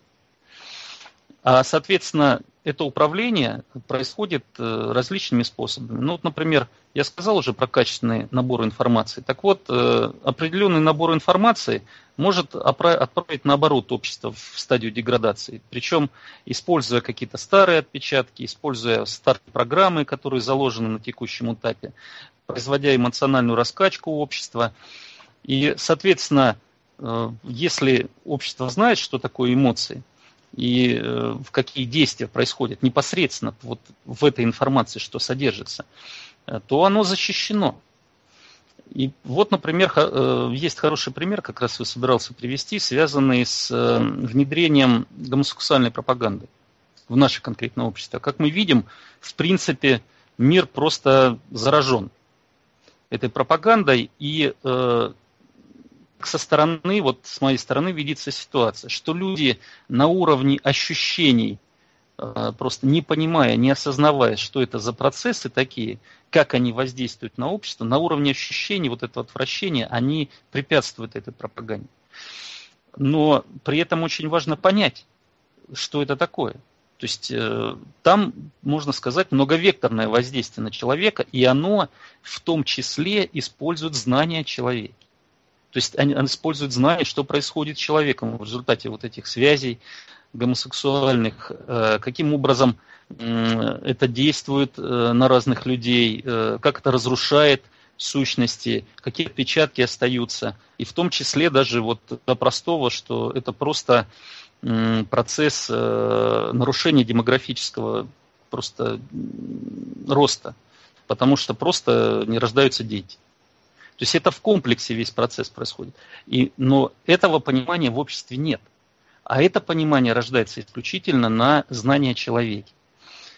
Поэтому э, сам процесс, конечно, у меня как бы определенно есть. Э, ну, была задача такая рассказать так крат, кратко процесс, связанный с формированием, например, эмоций. И, но я углубляться не буду. Я могу показать, что в принципе это присуще всем людям. Мы просто на это не обращаем внимания. И э, победа над эмо эмоциями, инстинктами – это как раз следующий этап, собственно, человека, когда он э, перестает вот эти вот, так скажем так, составляющие его сознания, которые достались от животных, от животного мира, он перестает, э, они перестают властвовать над ним. Соответственно, он может быть неуправляемым, он сам начинает управлять самим собой. То есть э, и даже как разнообразная информация, которая там ему может быть прийти для раскачки его, для как бы Э, в том числе нарушение структур, э, он эту информацию может, может быть защищен и как бы он может уже владеть своим собственным развитием. Вот для чего необходимо обратить внимание на эволюцию разума. Здесь еще есть примеры. Ну, например, война. Дело в том, что какого разумного поведения в обществе, обществу не хватает – Э, война – это крайняя степень паразитического влияния. То есть она общество вводит в процесс деградации, потому что убийство человеку не свойственно. Убийство, при убийстве возникают эмоции, которые разрушают вот эти эволюционные наработки сущности. И э, понимания этого нет, поэтому э, как бы во многом для достижения цели, а надо смотреть, каких целей зачинщики войны – Э, пытаются достигнуть. Э, вот, э, в том числе даже как бы те цивилизации, те общества, которые стоят на более высокой степени, то есть понимания, да, они тоже до сих пор не владеют этим пониманием, что же такое война. Это вопросы, то есть связаны, то есть общество, и в том числе вся цивилизация земная, она изменится, когда войны, вот это осознание придет. И это, будет, это станет э, каким таким стартовым фактором для того, чтобы изменить сознание вообще-то у всей планеты. Вот. А еще дополнительный пример такой. А причина-то возникновения войн. Вот очень э, люди на текущий момент в плане идеологического подхода вообще к этому вопросу, они как-то так раздроблены. Они говорят, война между Богом и сатаной, между добром и злом и так далее. Но между там англосаксами и нашей цивилизацией, ну, цивилизация, в том числе России, да, кто, кто тут затевает все вот эти мутные дела. Так вот, э, основной момент, который, в общем до сих пор не воспринимается ну, достаточно так широко, это то, что суть вопроса не в этих названиях добро и зло. В принципе, они как-то крайние, крайние, крайности, они не определены, да, а вот суть в том, что за вот этими понятиями скрывается само, самое главное. То, что все это делается для того, чтобы паразитить, продолжать паразитировать. То есть, если мы назовем, называем вещи своими именами, то э, совершенно другой расклад возникает. То есть, э, суть действий тех сил, которые, темных сил назовем их, потому что это уже классификация по их действиям. По, если они э, продолжают паразитировать, вот, то вот это вот как раз темные силы. И они хотят жить за счет других. И вот если задуматься, это как раз перед, перед перерывом предлагаю всем задуматься, что это меняет, меняет подход к оценке вообще э, тех сил, которые действуют против светлых сил, против нас. То есть это очень такой, э, а надо всегда понимать реальность. То есть реальность именно в том, что кто-то очень хочет попаразитировать за наш счет. Можете сказать, что это банально, но самое главное сказать суть действий. Хорошо, подумайте, пожалуйста, в музыкальной паузе над тем, что сказал Юрий Алексеевич. И вот представьте себе большого капуцина, который дорвался до вот этих монеток и сидит просто и использует вас, как тех самочек, которые не могут себе самостоятельно добыть корм. Надеюсь, образ яркий. Подумайте над ним.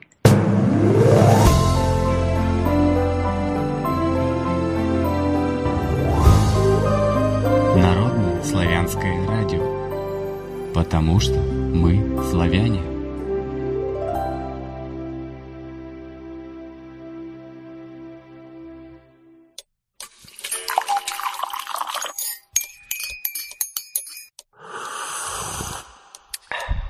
Продолжаем разговор.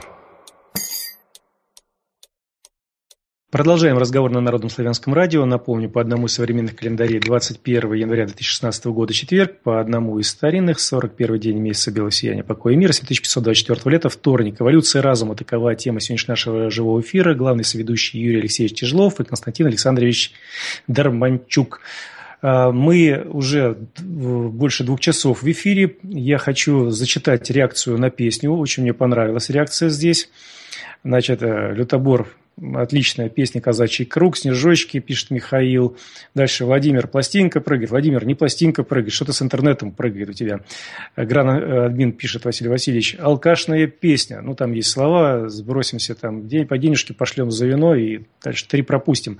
Э, вот, вот эта вот реакция мне дорогого стоит, потому что э, люди уже начинают отмечать, где внесенная вот эта вот кривда и где реакция тех, кто эти песни уже подстраивал под э, ту бытность, которая уже существовала.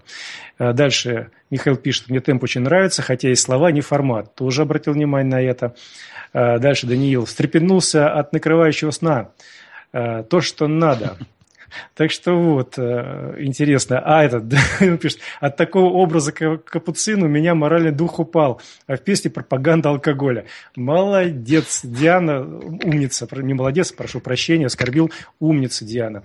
Здорово подмечено. Ну что поделать, капуцины вот такие управляют, а, к сожалению, многие ведутся на это. Вы же видите то, что общество наше разделилось на кого? У тех, у кого есть деньги, они управляют. У тех, у кого нет денег, они не управляют, они подстраиваются. Кто-то пытается э, сохранять честь и совесть в порядке, зарабатывает своим трудом и умом, но дальше их не пускают, потому что не вышли они чем-то по может быть, по мнению тех, кто управляет. А есть э, женщины, которые решают проще продавать себя за получение каких-то паек. Так что общество капуцинов в действии. И, как я хотел сказать, если вы видите, что появились проститутки и деньги, это означает, что эволюция вошла в свой тупиковый путь развития. Итак, давай продолжим. Есть какие-то еще заготовки или уже будем переходить к вопросам-ответам? Да, есть. есть давай, есть. тогда говори. Ну, вот как раз это по поводу действий, да, то есть первое знание, качественная информация и правильное вложение потенциала. И вот я почему обратил внимание именно на паразитическую суть процессов, потому что неизбежно вот э, после этого возникает вопрос, а каким же образом в обществе этот паразитизм распространяется? Ну а нужно знать, что такое общество. Общество не может существовать без экологической ниши, вот, в которой оно формирует свои социальные ниши. И в этих социальных нишах как раз есть ниши паразитические, которые низкого уровня, которые приводят общество к деградации. Так вот, это намного, ну, то есть уже очень сильно отличается от того понимания добра и зла, якобы борьбы добра и зла в нашем обществе. Вот. Это уже ближе к реальным процессам, которые происходят в обществе. Поэтому именно знание, знание о реальных процессах и позволяет его, ее правильное применение, распространение, и позволяет избежать, преодолевать вот это влияние паразитическое. То есть, в конце концов, люди выходят из подчинения паразитической системы, потому что осознают эти процессы. То есть, они без осознания этих процессов не могут. То есть, получается прямое э, доказательство, то, что именно знание влияет на эти процессы. Точно так же уровень развития человека, он просто невозможен без знания процессов, которые происходят в его сущности. Невозможен. Если считать, что экстрасенсы это развитые люди, вот, то ну, это ни о чем не сказать. То есть это, скажем так, без понимания того, что человек делает, он вообще не может развиваться. Потому что его структуры сущности не складываются правильно в результате. То есть рост, рост и развитие человека может идти только через осознание того и тех процессов, которые, они, которые происходят в момент его действия. И э, небольшое буквально такое у меня замечание, ну, скажем так, это такой кратенький процесс, что происходит с человеком.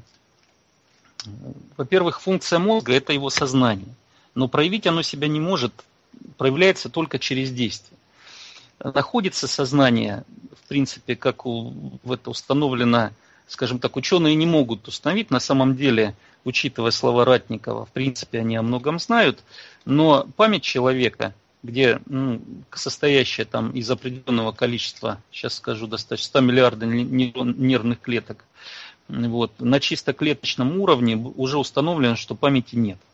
То есть она Э, при таком даже количестве, большом количестве нервных клеток, она не может хранить тот объем информации. Причем это конкретное исследование. Вот. На уровне э, молекулярном тоже не установлены те пар, ну, то есть не смогли найти, где конкретно память находится. Память находится непосредственно в структурах э, сущности, которая появилась благодаря тому, что молекулы ДНК головного мозга, которые достаточно большие, смогли продавить э, определенные уровни планетарные. И э, непосредственно сознание и память находятся в отпечатках. Эфирном, астральном, ментальном непосредственно. Вот. И эти отпечатки э, определенным способом развиваются.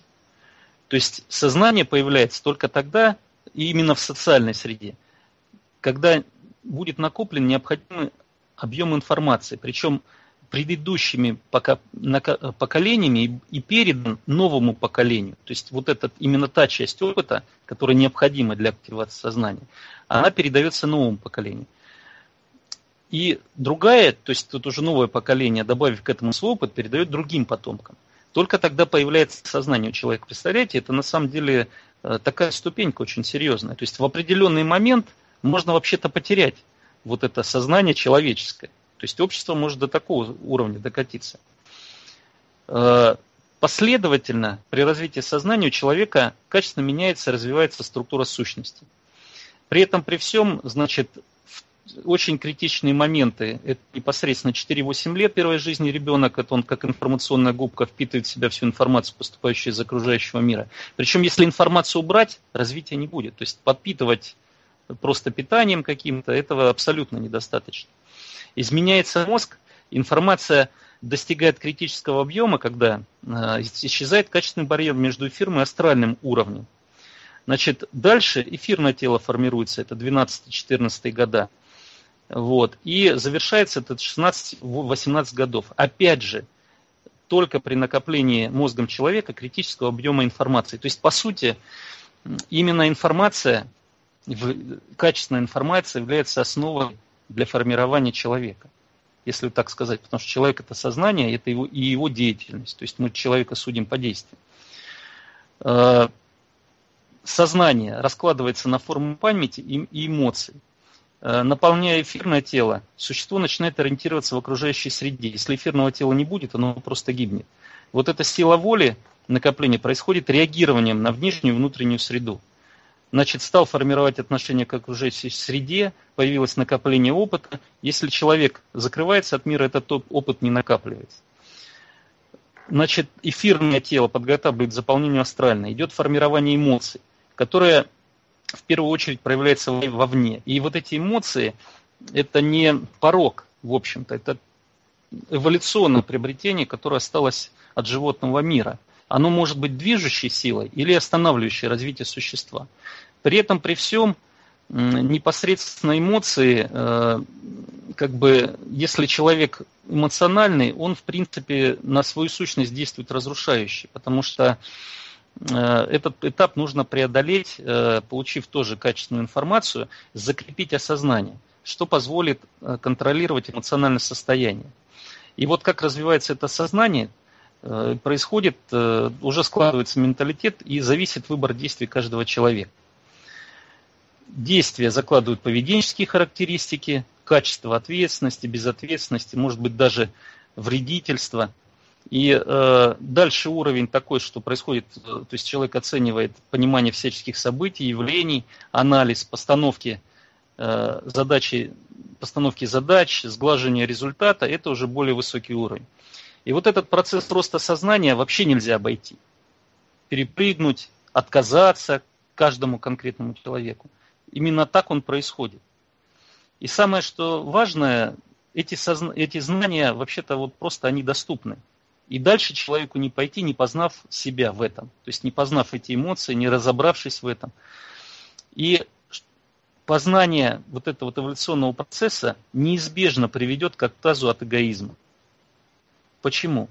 А потому что если человек начинает осознавать вот эти эмоции, начинает осознавать необходимость общества, начинает понимать то, что с ним происходит, он просто не может отказаться. Он просто будет себя переосознавать, будет видеть свои качества, будет, э, э, по сути, ну, даже подсознательно человеку свойственно э, оказываться в тех группах, где ему, то есть на уровне, уровне его сознания.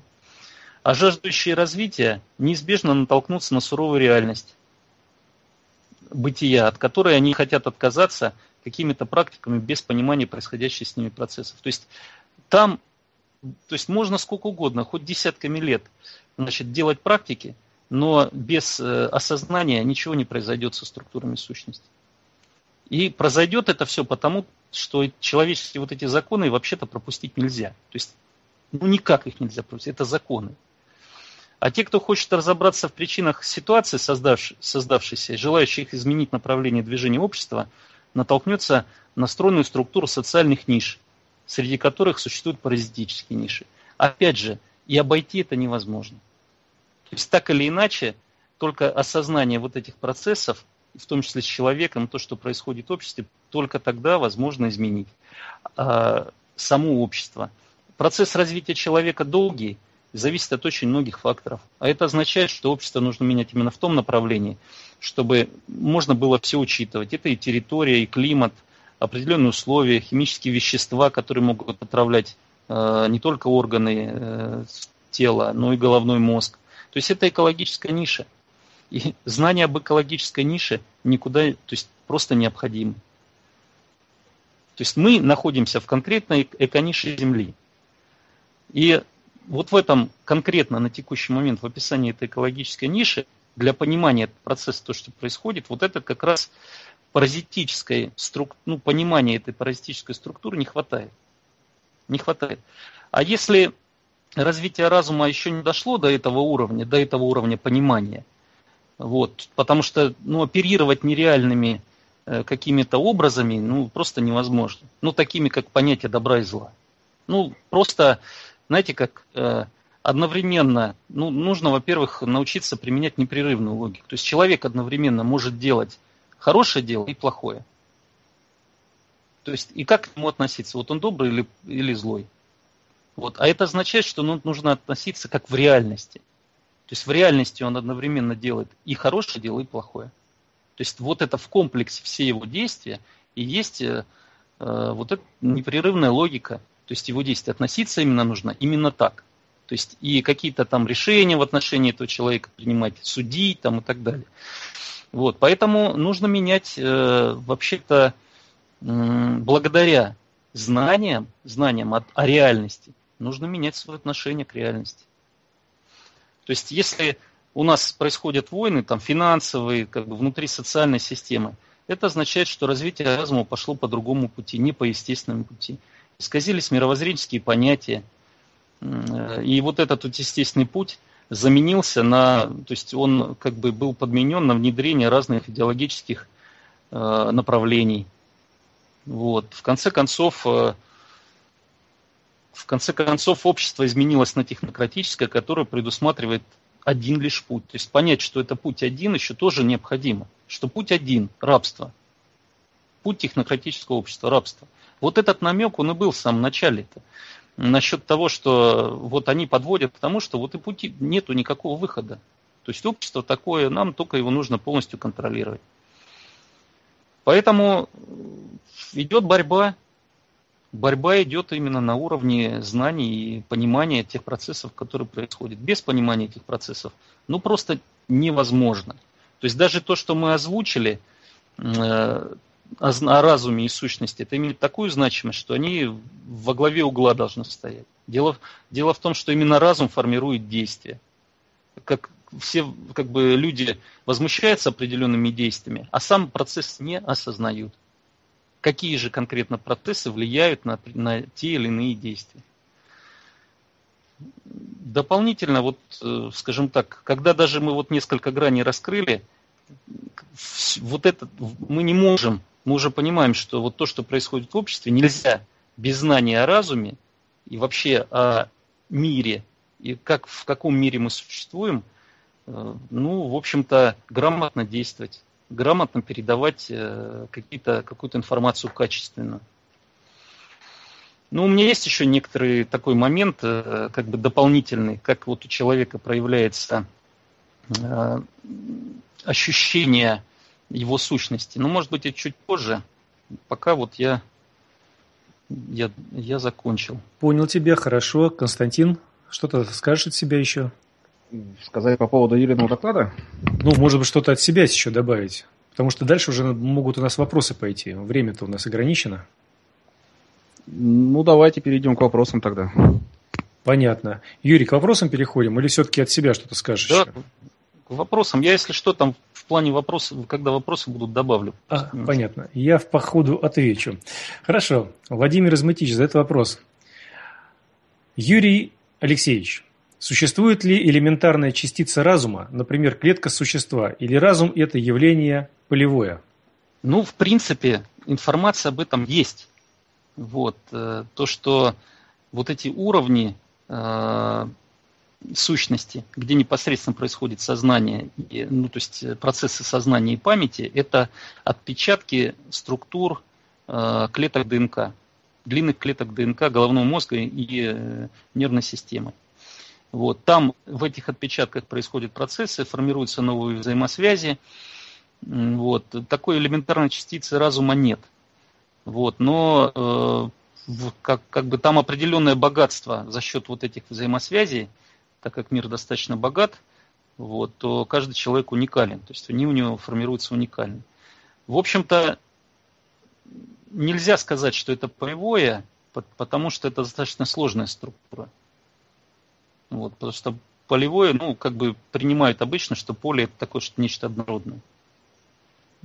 А с другой стороны, Владимир, вот мне просто всегда интересны вопросы такого плана. Если мы дадим точный ответ, полевое это не полевое, ты берешься за то, что найдешь вот то, о чем спрашиваешь? Или, может быть, ученые найдут. А если даже и найдут, они как-то что-то изменят мир к лучшему. Я предлагаю все-таки более более э, смотреть внимательно на то, что сейчас мы можем сделать, то, что сейчас э, вокруг нас происходит и как мы это можем повлиять, нежели чем задавать вопросы, а есть ли жизнь на Марсе или нет жизни на Марсе, а где там в Альфе Центавре у какого-то аборигена в носу в каком-то там что-то зачесалось, в третьем носу или в четвертом носу. Вот такие вопросы, они интересные, конечно, но время у нас эфира ограничено. Может быть, будем более по сути задать вопросы, которые суть нам поможет чем-то разобраться, изменить мир к лучшему. Дальше. Следующий вопрос от Владимира из Мытищ. Юрий Алексеевич, если у нас трехмерных существ есть разум, то наш разум в понимании существ большей мерности есть глупость или это ум? Да, хороший вопрос. Ну, я бы расспросил бы, конечно, существ большей мирности. То есть в их понимании не знаю, но я предполагаю, что все-таки это разум. Вот, потому что, скажем так, то есть определенное понимание, что такое разум, присутствует. Вот, что это вопрос э, просветления знанием, и когда человек вот, доходит до этого уровня, в общем-то, это разум уже. Вот, э, в нашем понимании. Я добавлю, можно, да? Да, пожалуйста, Константин. Э, ну, я думаю, что вот Владимир, может быть, невнимательно слушал то, о чем я говорил, именно о, раз, о разнице между умом и разумом и так далее. И разум или разумные действия независимо от того, там, сколькимерные существа, э, это есть действия. Они могут быть либо разумными, либо неразумными. Поэтому я так считаю, что тут никакой зависимости и разницы, сколькимерны это существа, нету. То есть есть э, результат каких-то действий, и по действиям, так сказать, и оценивать, и, и будем тех или иных существ. И независимо от того, какие там сколькимерности у них есть, присутствуют и так далее. Угу. Хорошо.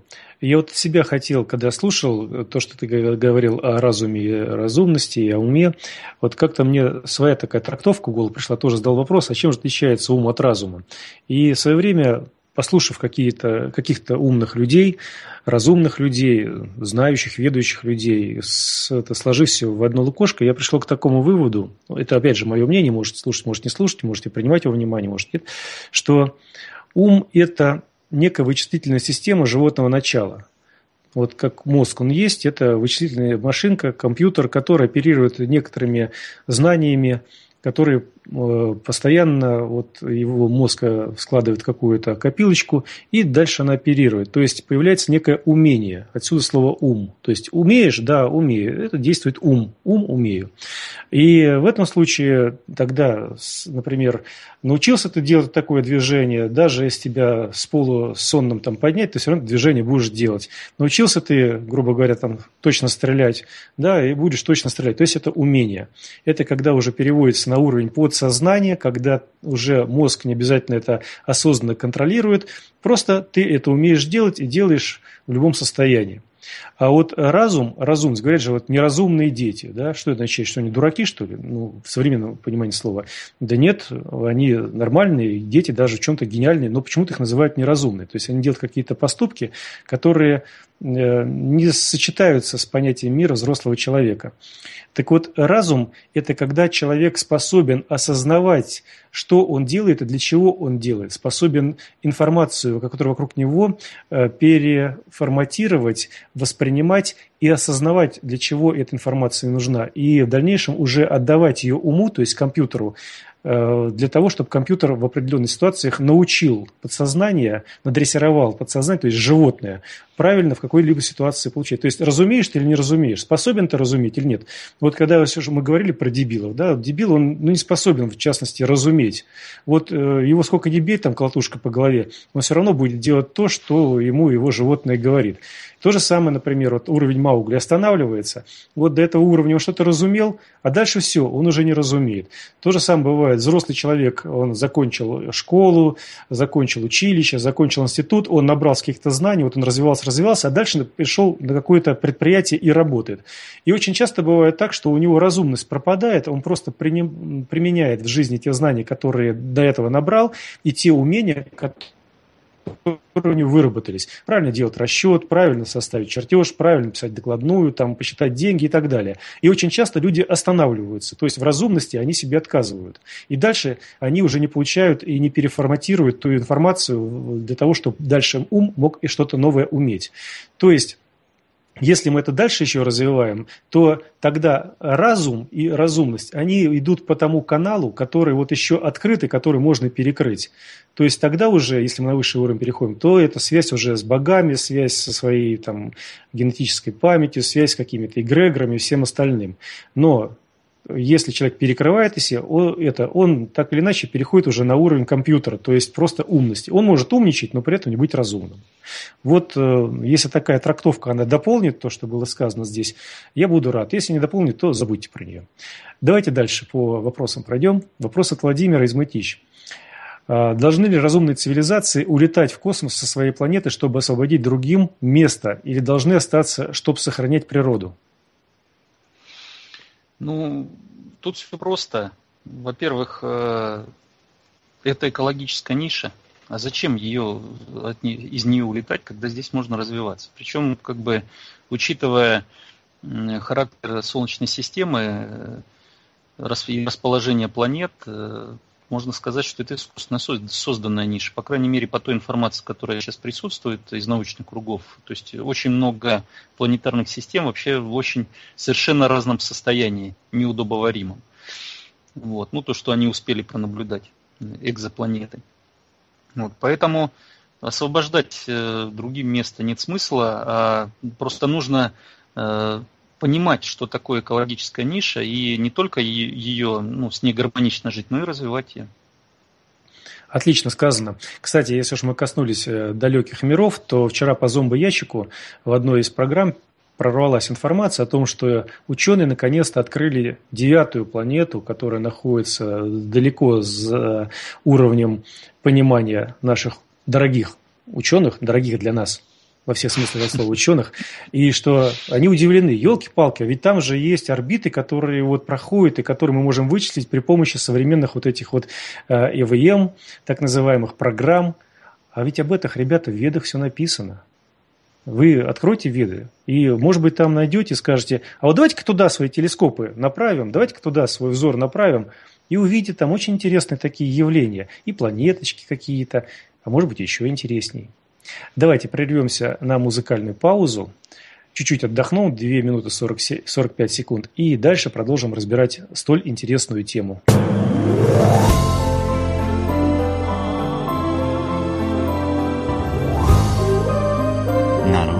Славянское радио. Проснись и слушай.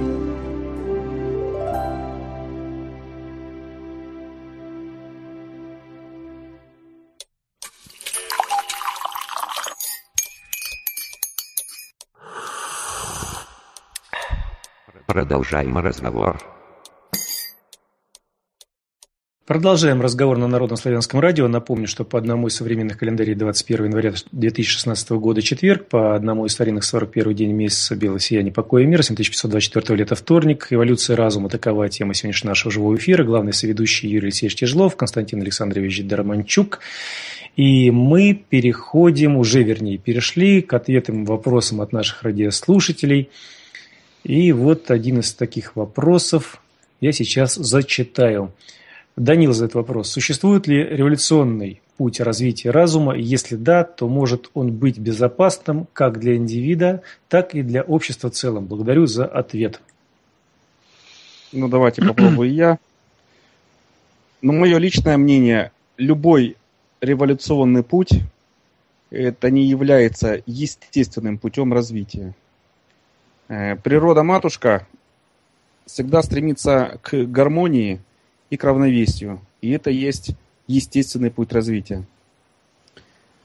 Если же действовать революционно, то давайте вспомним, так понравился Алексею пример с обезьянами, у которых вот искусственно привнесенный им революционный путь их развития, их общества, к чему в целом привел? Привел к деградации, болезням и в итоге, как я уже сказал, скорее всего привел бы просто-напросто к вымиранию этого сообщества. Э, поэтому я думаю, что именно революционный путь как развития разума э, не существует. Ну, хорошо, Юрий. Да. Но здесь нужно вообще-то исходить из э, конкретно пути развития разума. То есть вот какой он вообще, как, что происходит. Происходит то, что идет постепенное осознание определенных граней реальности. То есть вот оно идет. Если человек может достаточно быстро это делать, я не думаю, что это можно назвать революционным путем. То есть дело в том, что без осознания как бы невозможно развиваться. И, соответственно, получается, что сам вот это как бы перепрыгнуть какой-то этап там или еще что-то, это невозможно. Вот. А вот достаточно быстро при динамически, так скажем так, э, иметь возможность, ну, то есть свойство такое, качество э, накапливать осознание, то это возможно. А я, кстати, хотел, я там на первый вопрос хотел пример привести, у меня там остался один пример неплохой. Давай, приводи. Э, он связан э, как раз, каким образом человек накапливает. То есть, в принципе, это можно, вот осознание накапливает, это можно увидеть, э, в принципе, в любой профессиональной деятельности. Человек погружается в вот эти образы, которые связаны с его деятельностью, они ему до боли знакомы становятся просто, он у них плавает. Он ими начинает манипулировать. Причем настолько быстро, что за ним просто люди со стороны не успевают смотреть. Образы, как только они становятся очень яркими, с ними связано ощущение даже, вплоть до того, что это находится где-то уже снаружи тела. То есть вот такие яркие образы. И человек напрямую ощущает процессы, вот он просто знает, что вот есть процесс именно вот такой. Ну, как врач в том числе может так. Он просто знает, что он должен идти именно так процесс. И, и доходит до того, что человек непосредственно, тот же самый врач, медик, он просто начинает ощущать, что процесс именно прямо сейчас происходит так. У него происходит резонанс с его реальным отпечатком процесса, который у него в сущности находится. И он инту, интуитивно быстро связывая и вот, вот эти взаимосвязи создает в той области, которые связаны с его делом. То есть, по сути, если бы человек не только в своем вот в этом направлении его интересов э, формировал свое понимание, то он бы значит, осознал значительно больше граней реальности, не только в области вот этих своих профессиональных интересов. И по-другому, другого пути развития, как не через формирование вот этих абсолютно точных, соответствующих окружающим процессам образов, нет – это в качестве подсказки к тому, а куда же дальше двигаться.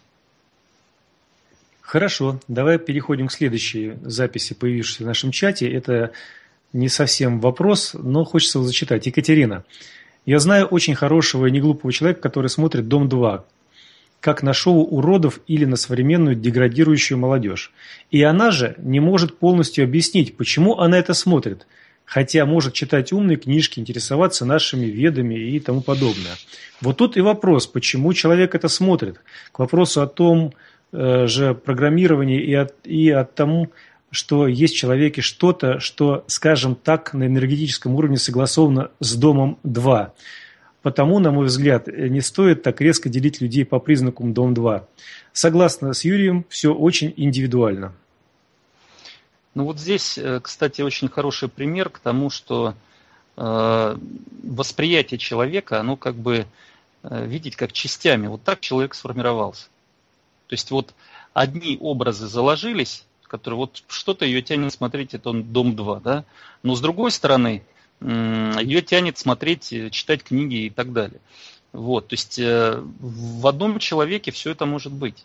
И может достаточно продолжительное время существовать без каких-то, ну, диссонанса какого-то такого. В конце концов, э, человек, когда сам понимает, что что-то в этом есть ненормальное, вот, он э, как бы уже ну, пытается избежать этого. Но, к сожалению, в обществе, э, скажем так, в среде окружения может как бы достаточно качественной информации не быть, и человек, в общем-то, может остаться.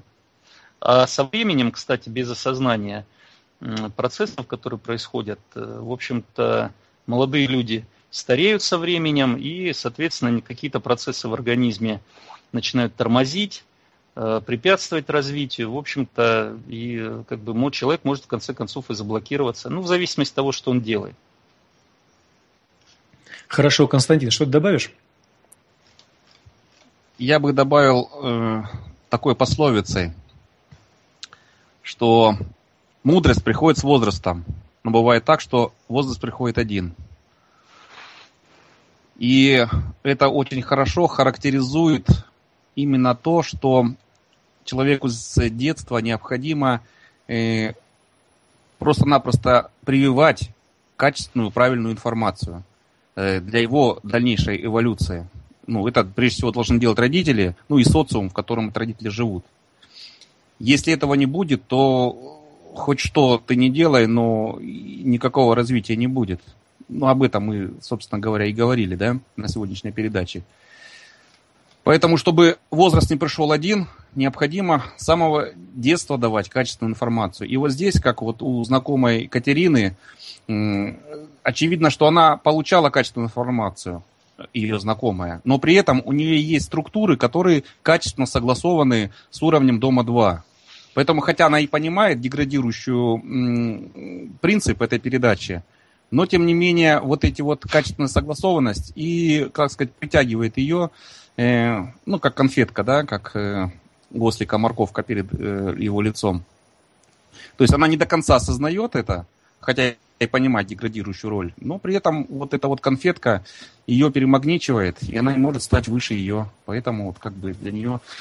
Я, к счастью, в принципе, честно скажу, даже ни разу не смотрел «Дом-2», может быть, мне так повезло, ну, как-то так не попал. Кость, вот. ты так от жизни оторвался вообще. Ну, может быть, Ты да. столько ну, потерял. Честно, честно говорю, ни разу не смотрел. Нет, ты не наш человек. Ну, откуда дом ты вообще тоже. прилетел? И дом 3, да? Ну, ясно. А, вот смотрите. А сейчас какой дом, кстати, я тоже хочу спросить. А я тоже хочу спросить, какой там? Второй еще остался или уже третий там замутили? Да дело-то не, не в этом. Дело. Да. Не в этом суть, да. А, суть в том, что мы отсталые с вами люди. Вот смотрите, что я тоже себя не удержался. Вот, Катя, хочу ответить. Разреши, пожалуйста, мне вставить свое слово. Дело в том, что меня здесь настораживает такая вот фраза. Хотя может читать умные книжки, интересоваться нашими, ну, нашим наследием.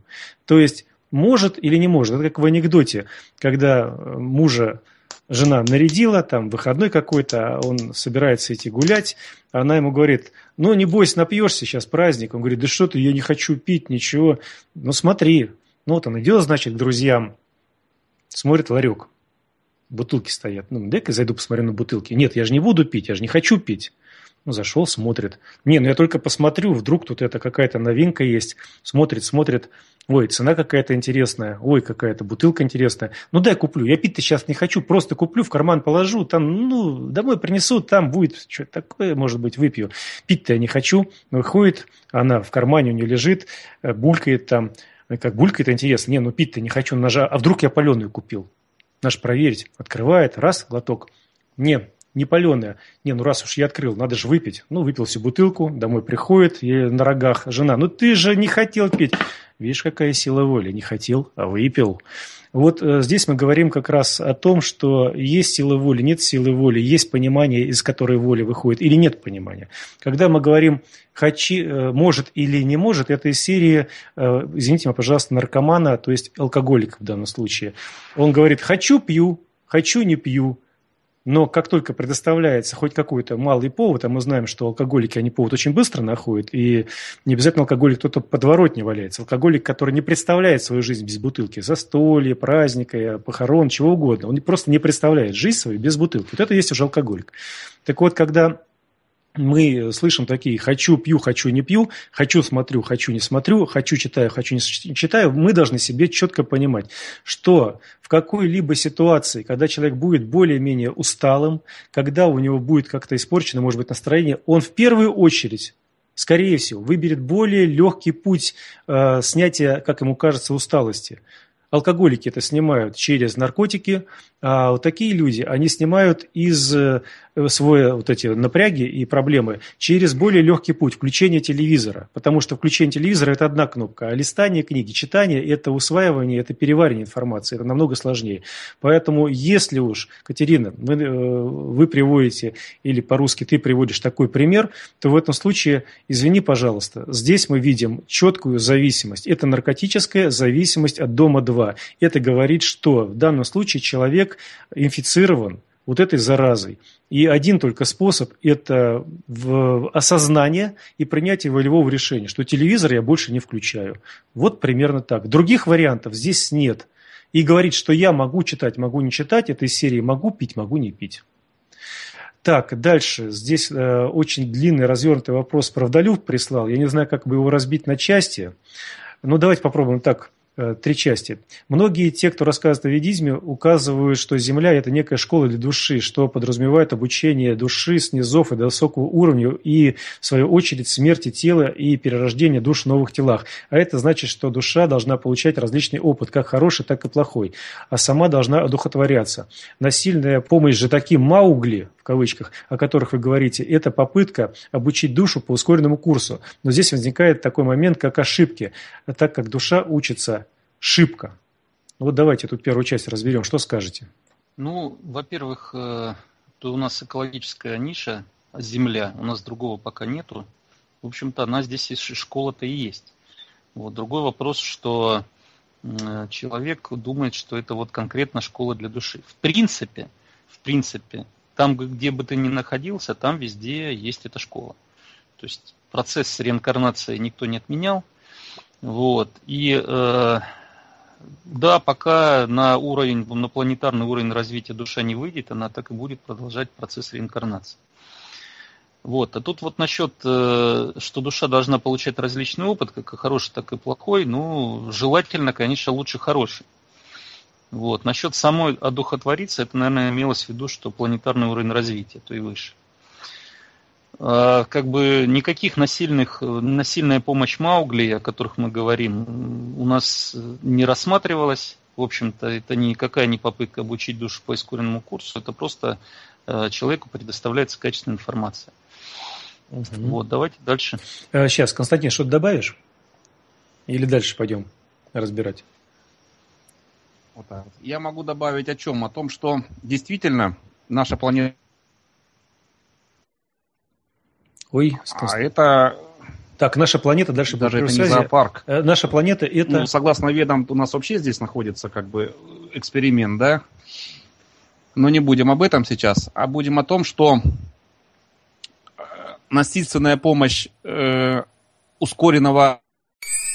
Обрыв связи. Так, прерывается на связь с Константином. Тогда я тоже выскажу, и дальше пойдем, попробуем как-то там с Константину перезвонить. На мой взгляд, можно более на низком уровне человеку помогать развиваться. То есть можно создать условия для его развития, как э, взрослый человек создает условия развития своего ребенка, своему ребенку.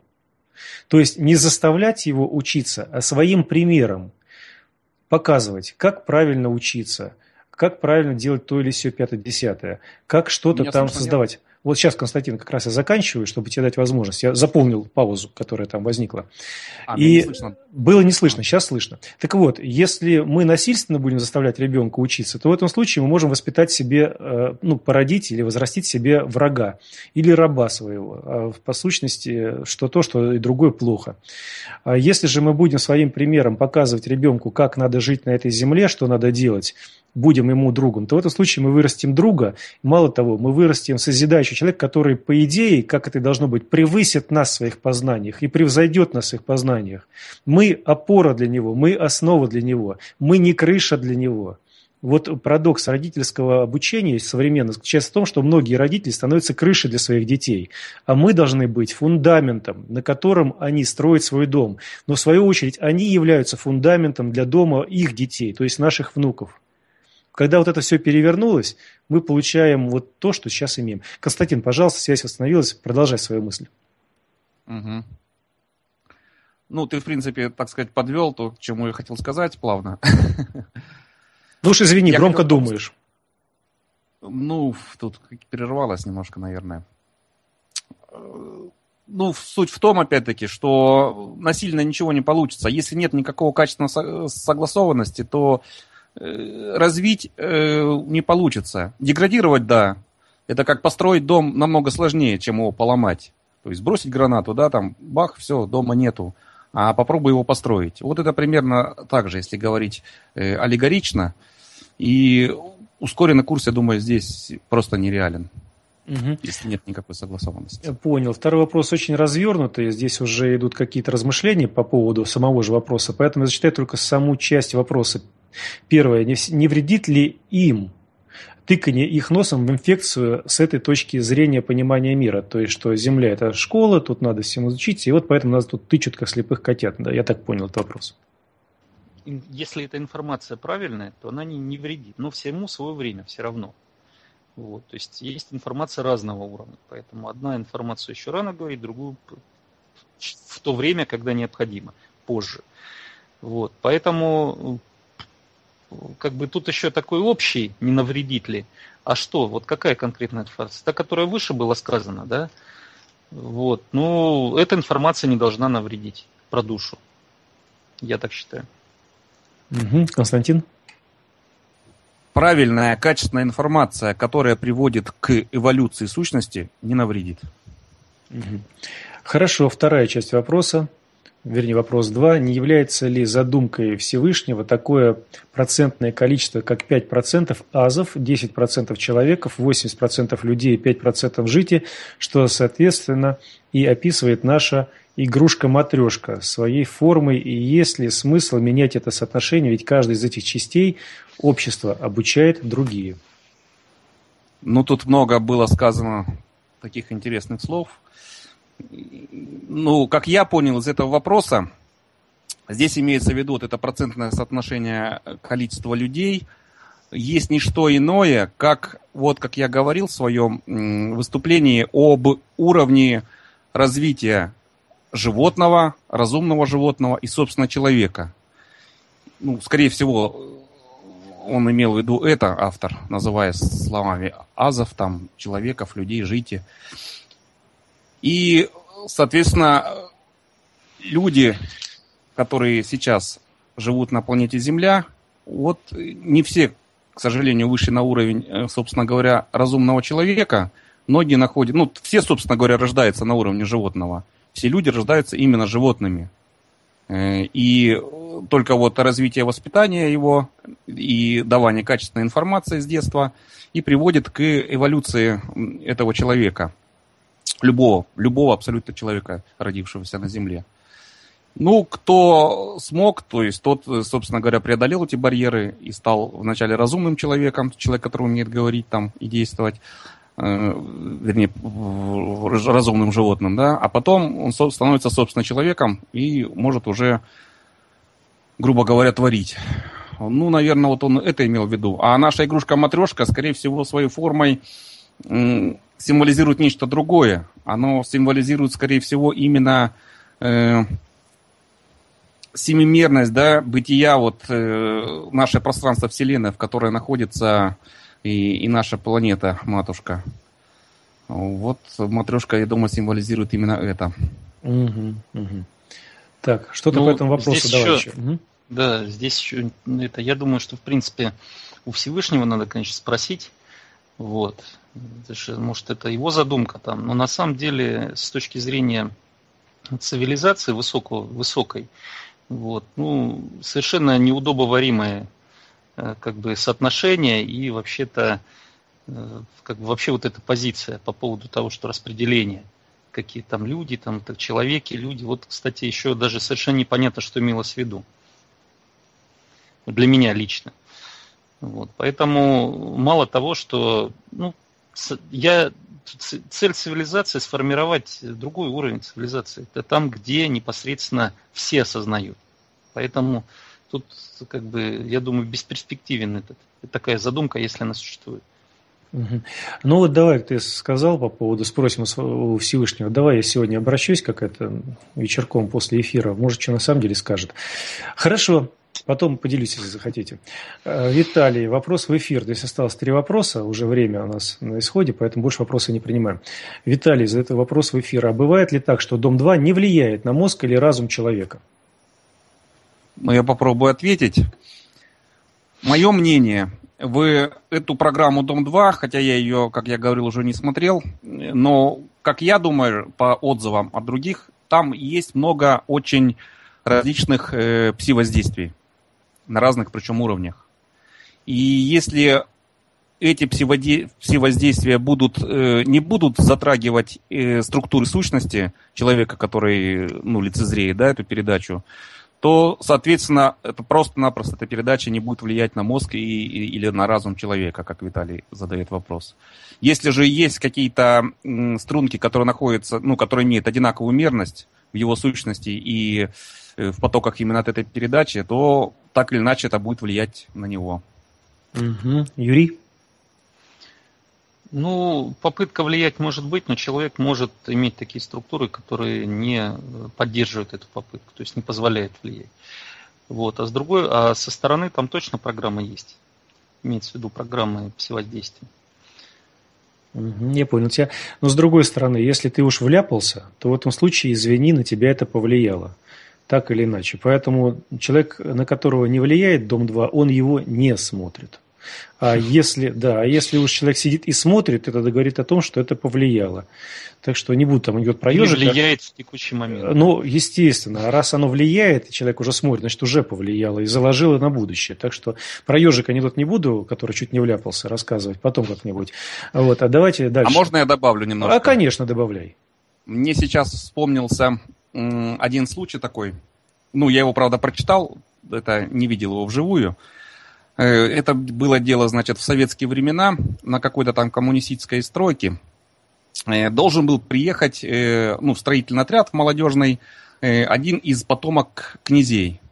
Ну, а отношение было, как вы помните, в советские времена к благородным людям благородных кровей несколько такое необычное, то есть как бы их считали как изгоями в советском обществе. Ну и, соответственно, все ждали его приема, ваше высочество, там, э, из э, благородных кровей, и все ожидали, как же он будет э, ходить в туалет. Ну, представьте, там, студенческая стройка, молодежь, и, ну, грубо говоря, сбитый э, ящик на улице, да, и вот и весь туалет. Кость, ты где такого насмотрелся вообще? Так это, вот слушайте, это что? самое интересное, самое интересное дальше.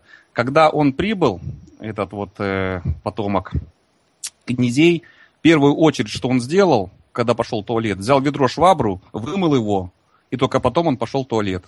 На что все просто переглянулись и пожали плечами, ну и все. На этом история заканчивается. Я просто думаю, что выводы вы сделаете. Да уж, показал всем правильный пример. Это говорит о том, что он не по званию, а по сути более правильного, скажем так, воспитания, представления. Ну, это еще говорит и об уровне развития сущности. Ну, я говорю, да, и по развитию, то есть повыше. Хорошо, давай дальше. Вопрос в студии от Юлии Ищелкова. Какие вопросы нужно поднимать с детства в воспитании детей? С чего начинать? Вопрос возраста. Как бы тут э, понятно воспитание детей. Вопрос возраста стоит в первую очередь. Ну, сначала формируется, то есть э, в младенческом возрасте это там простейшие там рефлексы, все, как бы там э, информация, она достаточно такая э, немножко другого, ну, то есть узкого такого направления, то есть э, ребенок на что-то реагирует, там он проявляет свой интерес, вот, играть с ним, вот, потому что он еще в стадии животного находится. Вот, а впоследствии уже давать информацию разного, разного уровня. Опять же, игры более сложные, вот. Ну, а когда уже более взрослый, взрослый становится, то есть когда уже понимает, осознает, там уже можно давать информацию и э, непосредственно, ну, скажем так, в каком возрасте, да? Ну, уже в семилетнем возрасте, в семилетнем возрасте уже как бы достаточно серьезную информацию можно давать, чтобы человек, он осознавал, кто он такой. То есть здесь, э, конечно, ну, уже школьная даже информация, она уже существенно влияет на развитие человека, ребенка. Понятно. Я немножко дополню. Э, прежде всего, с какого возраста начинать, необходимо начинать вот прямо с самого рождения. И первые вопросы, на которые нужно обращать внимание ребенка и отвечать ему, это на вопросы «что это?», то есть пока он совсем маленький. А впоследствии там, там с трех, с двух-трехлетнего возраста необходимо уже отвечать вопросы не что, ну и что это в том числе, потому что мир-то познается, но и зачем это, и как это работает. И именно у ребенка задавать интерес, чтобы ему самому было интересно познать это, как это работает и зачем это. То есть он уже узнал, что это, а потом дальше более, так сказать, раскрывать более существенно эти предметы, которые он уже осознал. И тогда качество информации будет подниматься у ребенка ну, на порядке выше, чем, чем просто на ответ, что это. Угу. Хорошо, по поводу воспитания есть такая древняя притча, когда к мудрецу пришла женщина и говорит, моему ребенку а, год, когда я должна начать воспитание. Он посмотрел на нее, вы уже опоздали больше, чем на год. И продолжение, как говорили нас древности, никогда не пытайтесь ребенка чему-то научить его как-то воспитать, он все равно сделает то, что делаете вы. Вот давайте с этого начинать. То есть, хочешь изменить мир к лучшему, начни с себя, хочешь воспитать хорошего человека, друга, полноценного человека, то в этом случае начни с себя. Очень часто наши юные мамаши и папаши об этом даже не подозревают. А, так, здесь вот э, некоторые реплики я еще зачитаю, прежде чем уже окончательно последний вопрос прочитать. Так вот, Васильевич прислал нам э, реплику. Герцог сказал на удивительный взгляд, и этот касаясь того туалета, убирать дерьмо не стыдно, а жить в дерьме стыдно. Вот примерно так. И сэр Ежик нас спрашивает, Вопрос шуточный, в эфир. Сколько вам Дом-2 заплатил за его рекламу на славянском радио? Так, Юра, Костя, сколько вам заплатил Дом-2? Давайте признавайтесь. А вообще сейчас какой дом? Просто как бы мы можем ошибиться. Да. Отмазаться, сколько понятно. дом 2, а сколько дом 3, как бы. Давай спросим, вопрос, а с кого, вопрос с кого стримил, да? да? И это, скорее всего, вопрос не к нам, а вопрос к тебе, потому что ты его поднял этот вопрос, и ты начал его дискутировать. Ну что ж, ладно, я позвоню на как-то ТНТ, да, это? Спрошу, сколько мне прочитается. Хорошо, благодарю вас. И у Всевышнего надо спросить, потому что Ну, нет, я же обещал. Я же обещал. Реклама, реклама Всевышнего была. Я задам этот вопрос обязательно, все как договаривались. Завтра, если хотите, расскажу, что он ответил ответил. Так, ну что ж, давайте тогда переходим к последнему вопросу. Виталий, вопрос в эфир. А иммунитет от дурости у человека есть? До какой-то степени есть. До, до, той степени, пока его инстинкты защищают от каких-то действий. Вот, то есть, но если уж такая дурость, что инстинкты не защищают, да, то все, я думаю, это тяжелый случай. Угу. Еще вариант? Дурость в каком контексте Виталий имеет в виду слово дурость? Здесь просто можно по-разному ответить. А давай из самого распространенного современного значения, не нашего древнего, а от современного. Если у... Ну, опять-таки, все зависит э, от воспитания человека, о чем мы сегодня, собственно говоря, практически всю передачу говорили. И если родители э, и социум, в котором воспитывался этот человек, заложит вот эти качества, да, то дурость в современном понимании э, просто-напросто она, ну, она как ляжет, так и сойдет с него. То есть не будет никакой качественной согласованности и, соответственно, воздействия этой дурости, э, ну, это можно назвать иммунитетом, да. То есть вот это вот закладывание азов и базы с детства социумом и родителей, это и будет являться именно иммунитетом от дурости. Вот я бы так сказал. Хорошо сказал, мне понравилось. Ну что ж, давайте подводить итог сегодняшней нашей передачи. Давай, наверное, с Константина начнем. Константин, что сегодня скажешь в заключение? Что, может быть, пожелаешь? Давай жирную черту подводи от себя. Э, ну, что касаясь моего рассказа, да, я бы сказал бы, что знание об эволюционных законах, именно знание об эволюционных законах может дать существенный скачок эволюционному развитию всего человечества. И это знание поможет разобраться именно в текущей ситуации, видеть то, что происходит с точки зрения эволюционного критерия, то есть проникнуть в самую суть происходящих процессов и, соответственно, понять, как наш разум развивался.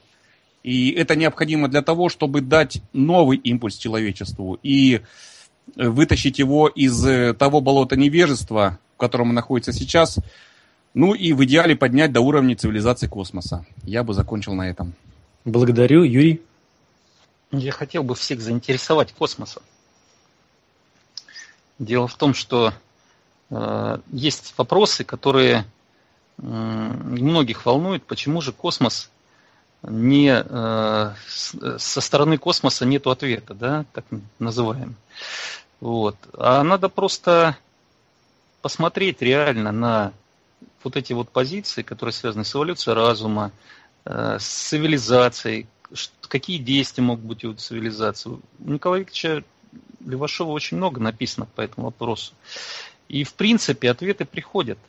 Уровень развития, уровень развития, в общем-то, находится еще пока на близко к животным. Вот. А, скажем так, реальное то, что мы попытались сегодня изложить, то есть реальные процессы, которые происходят в природе, я думаю, многие увидели, что мы достаточно далеко от их понимания. А для того, чтобы выйти в космос, в общем-то, нужно свой уровень понимания и знания поднять. Иначе, в общем-то, даже это не уровень ковбоев с Дикого Запада будет. Потому что там цивилизация совсем другого уровня. Поэтому в новом году желаю всем поднять свой уровень развития, но путем исключить, это и это возможно только путем осознания окружающей реальности и законов развития человека и эволюции разума. Благодарю тебя. В заключение хочется от себя э, вот что сказать. Вот сейчас слежу за чатом, там так разворачивается битва между высказываниями разными, между разными терминами, вернее, людьми, которые эти термины озвучивают. Вот Катерина написала, Данил, любить врагов, по-моему, не по-нашему, это не наш метод. Если мы разбираем слово «любовь», то есть люди богов ведают, то в этом случае как раз любить всех – это относиться так, как они этого заслуживают, относиться ровно ко всем – по их поступкам, по их результатам, по их мыслям, по тому, что они желают сделать, по их намерениям. И вот если в этом отношении мы э, понимаем слово «любовь», то в этом случае тогда и врагов вы будете любить, и друзей вы будете любить, но только проявлять, э, реагировать на то, что вы делаете, будете по-разному. Но любить вы будете всех одинаково, потому что любить вы будете весь мир, и невозможно какую-то часть не любить. Вопрос, что вы проявляете в этом мире, как вы проявляете себя в этом мире, и что вы хотите достичь сами, и к чему вы хотите помочь другим людям добраться. Ведь вас же тоже спросят в конце концов, хорошо, сам ты из помойной ямы вылез, а ты Помог другим людям разобраться, где, хотя бы разобраться, где они сидят? Помог ли ты вылезти тому, кто захотел вылезти из нее? Помог ли ты отряхнуться тому, кто вылез, кому ты помог? И так далее и тому подобное. Поэтому ответственный человек за себя в первую очередь, за то, что он делает для своих близких, знакомых, друзей, и за то, что в конечном итоге собой будет представлять тот мир, в котором он находился. Вот это все необходимо понимать, а это и есть любовь. И в конечном итоге вот Владимир написал, Катерина, есть такая шутка. Две девочки поливали с балкона на прохожих. Добрая попала пять раз, злая попала два раза. Итог. Добро всегда побеждает зло. Вот давайте на этой радостной ноте мы будем подводить уже итог сегодняшней нашей встречи. Напомню, что сегодня 21 января 2016 года, четверг, 40 день месяца белого сияния и покоя мира, 7524 лета, вторник по одному из старинных календарей. Эволюция разума, такова была тема сегодняшнего нашего эфира. Юрий Алексеевич Тяжелов и Константин Александрович Дарманчук нам об этом очень много чего поведали интересного. Я надеюсь, что вы, если наши радиослушатели, если сочли, что этот эфир для вас интересен, вы пригласили всех хороших людей, чтобы добро эволюционировало, чтобы разум эволюционировал, и мир через эволюцию разума и добра стал лучше, и вы в этом поучаствовали бы. Вот, и если вы не успели еще это сделать, я надеюсь, что вы потом расскажете о том, что вот была такая передача, я рекомендую вам, мои друзья, прийти и послушать. Вот на сим я хочу с вами проститься. Желаю всем добра. До новых встреч. Услышимся.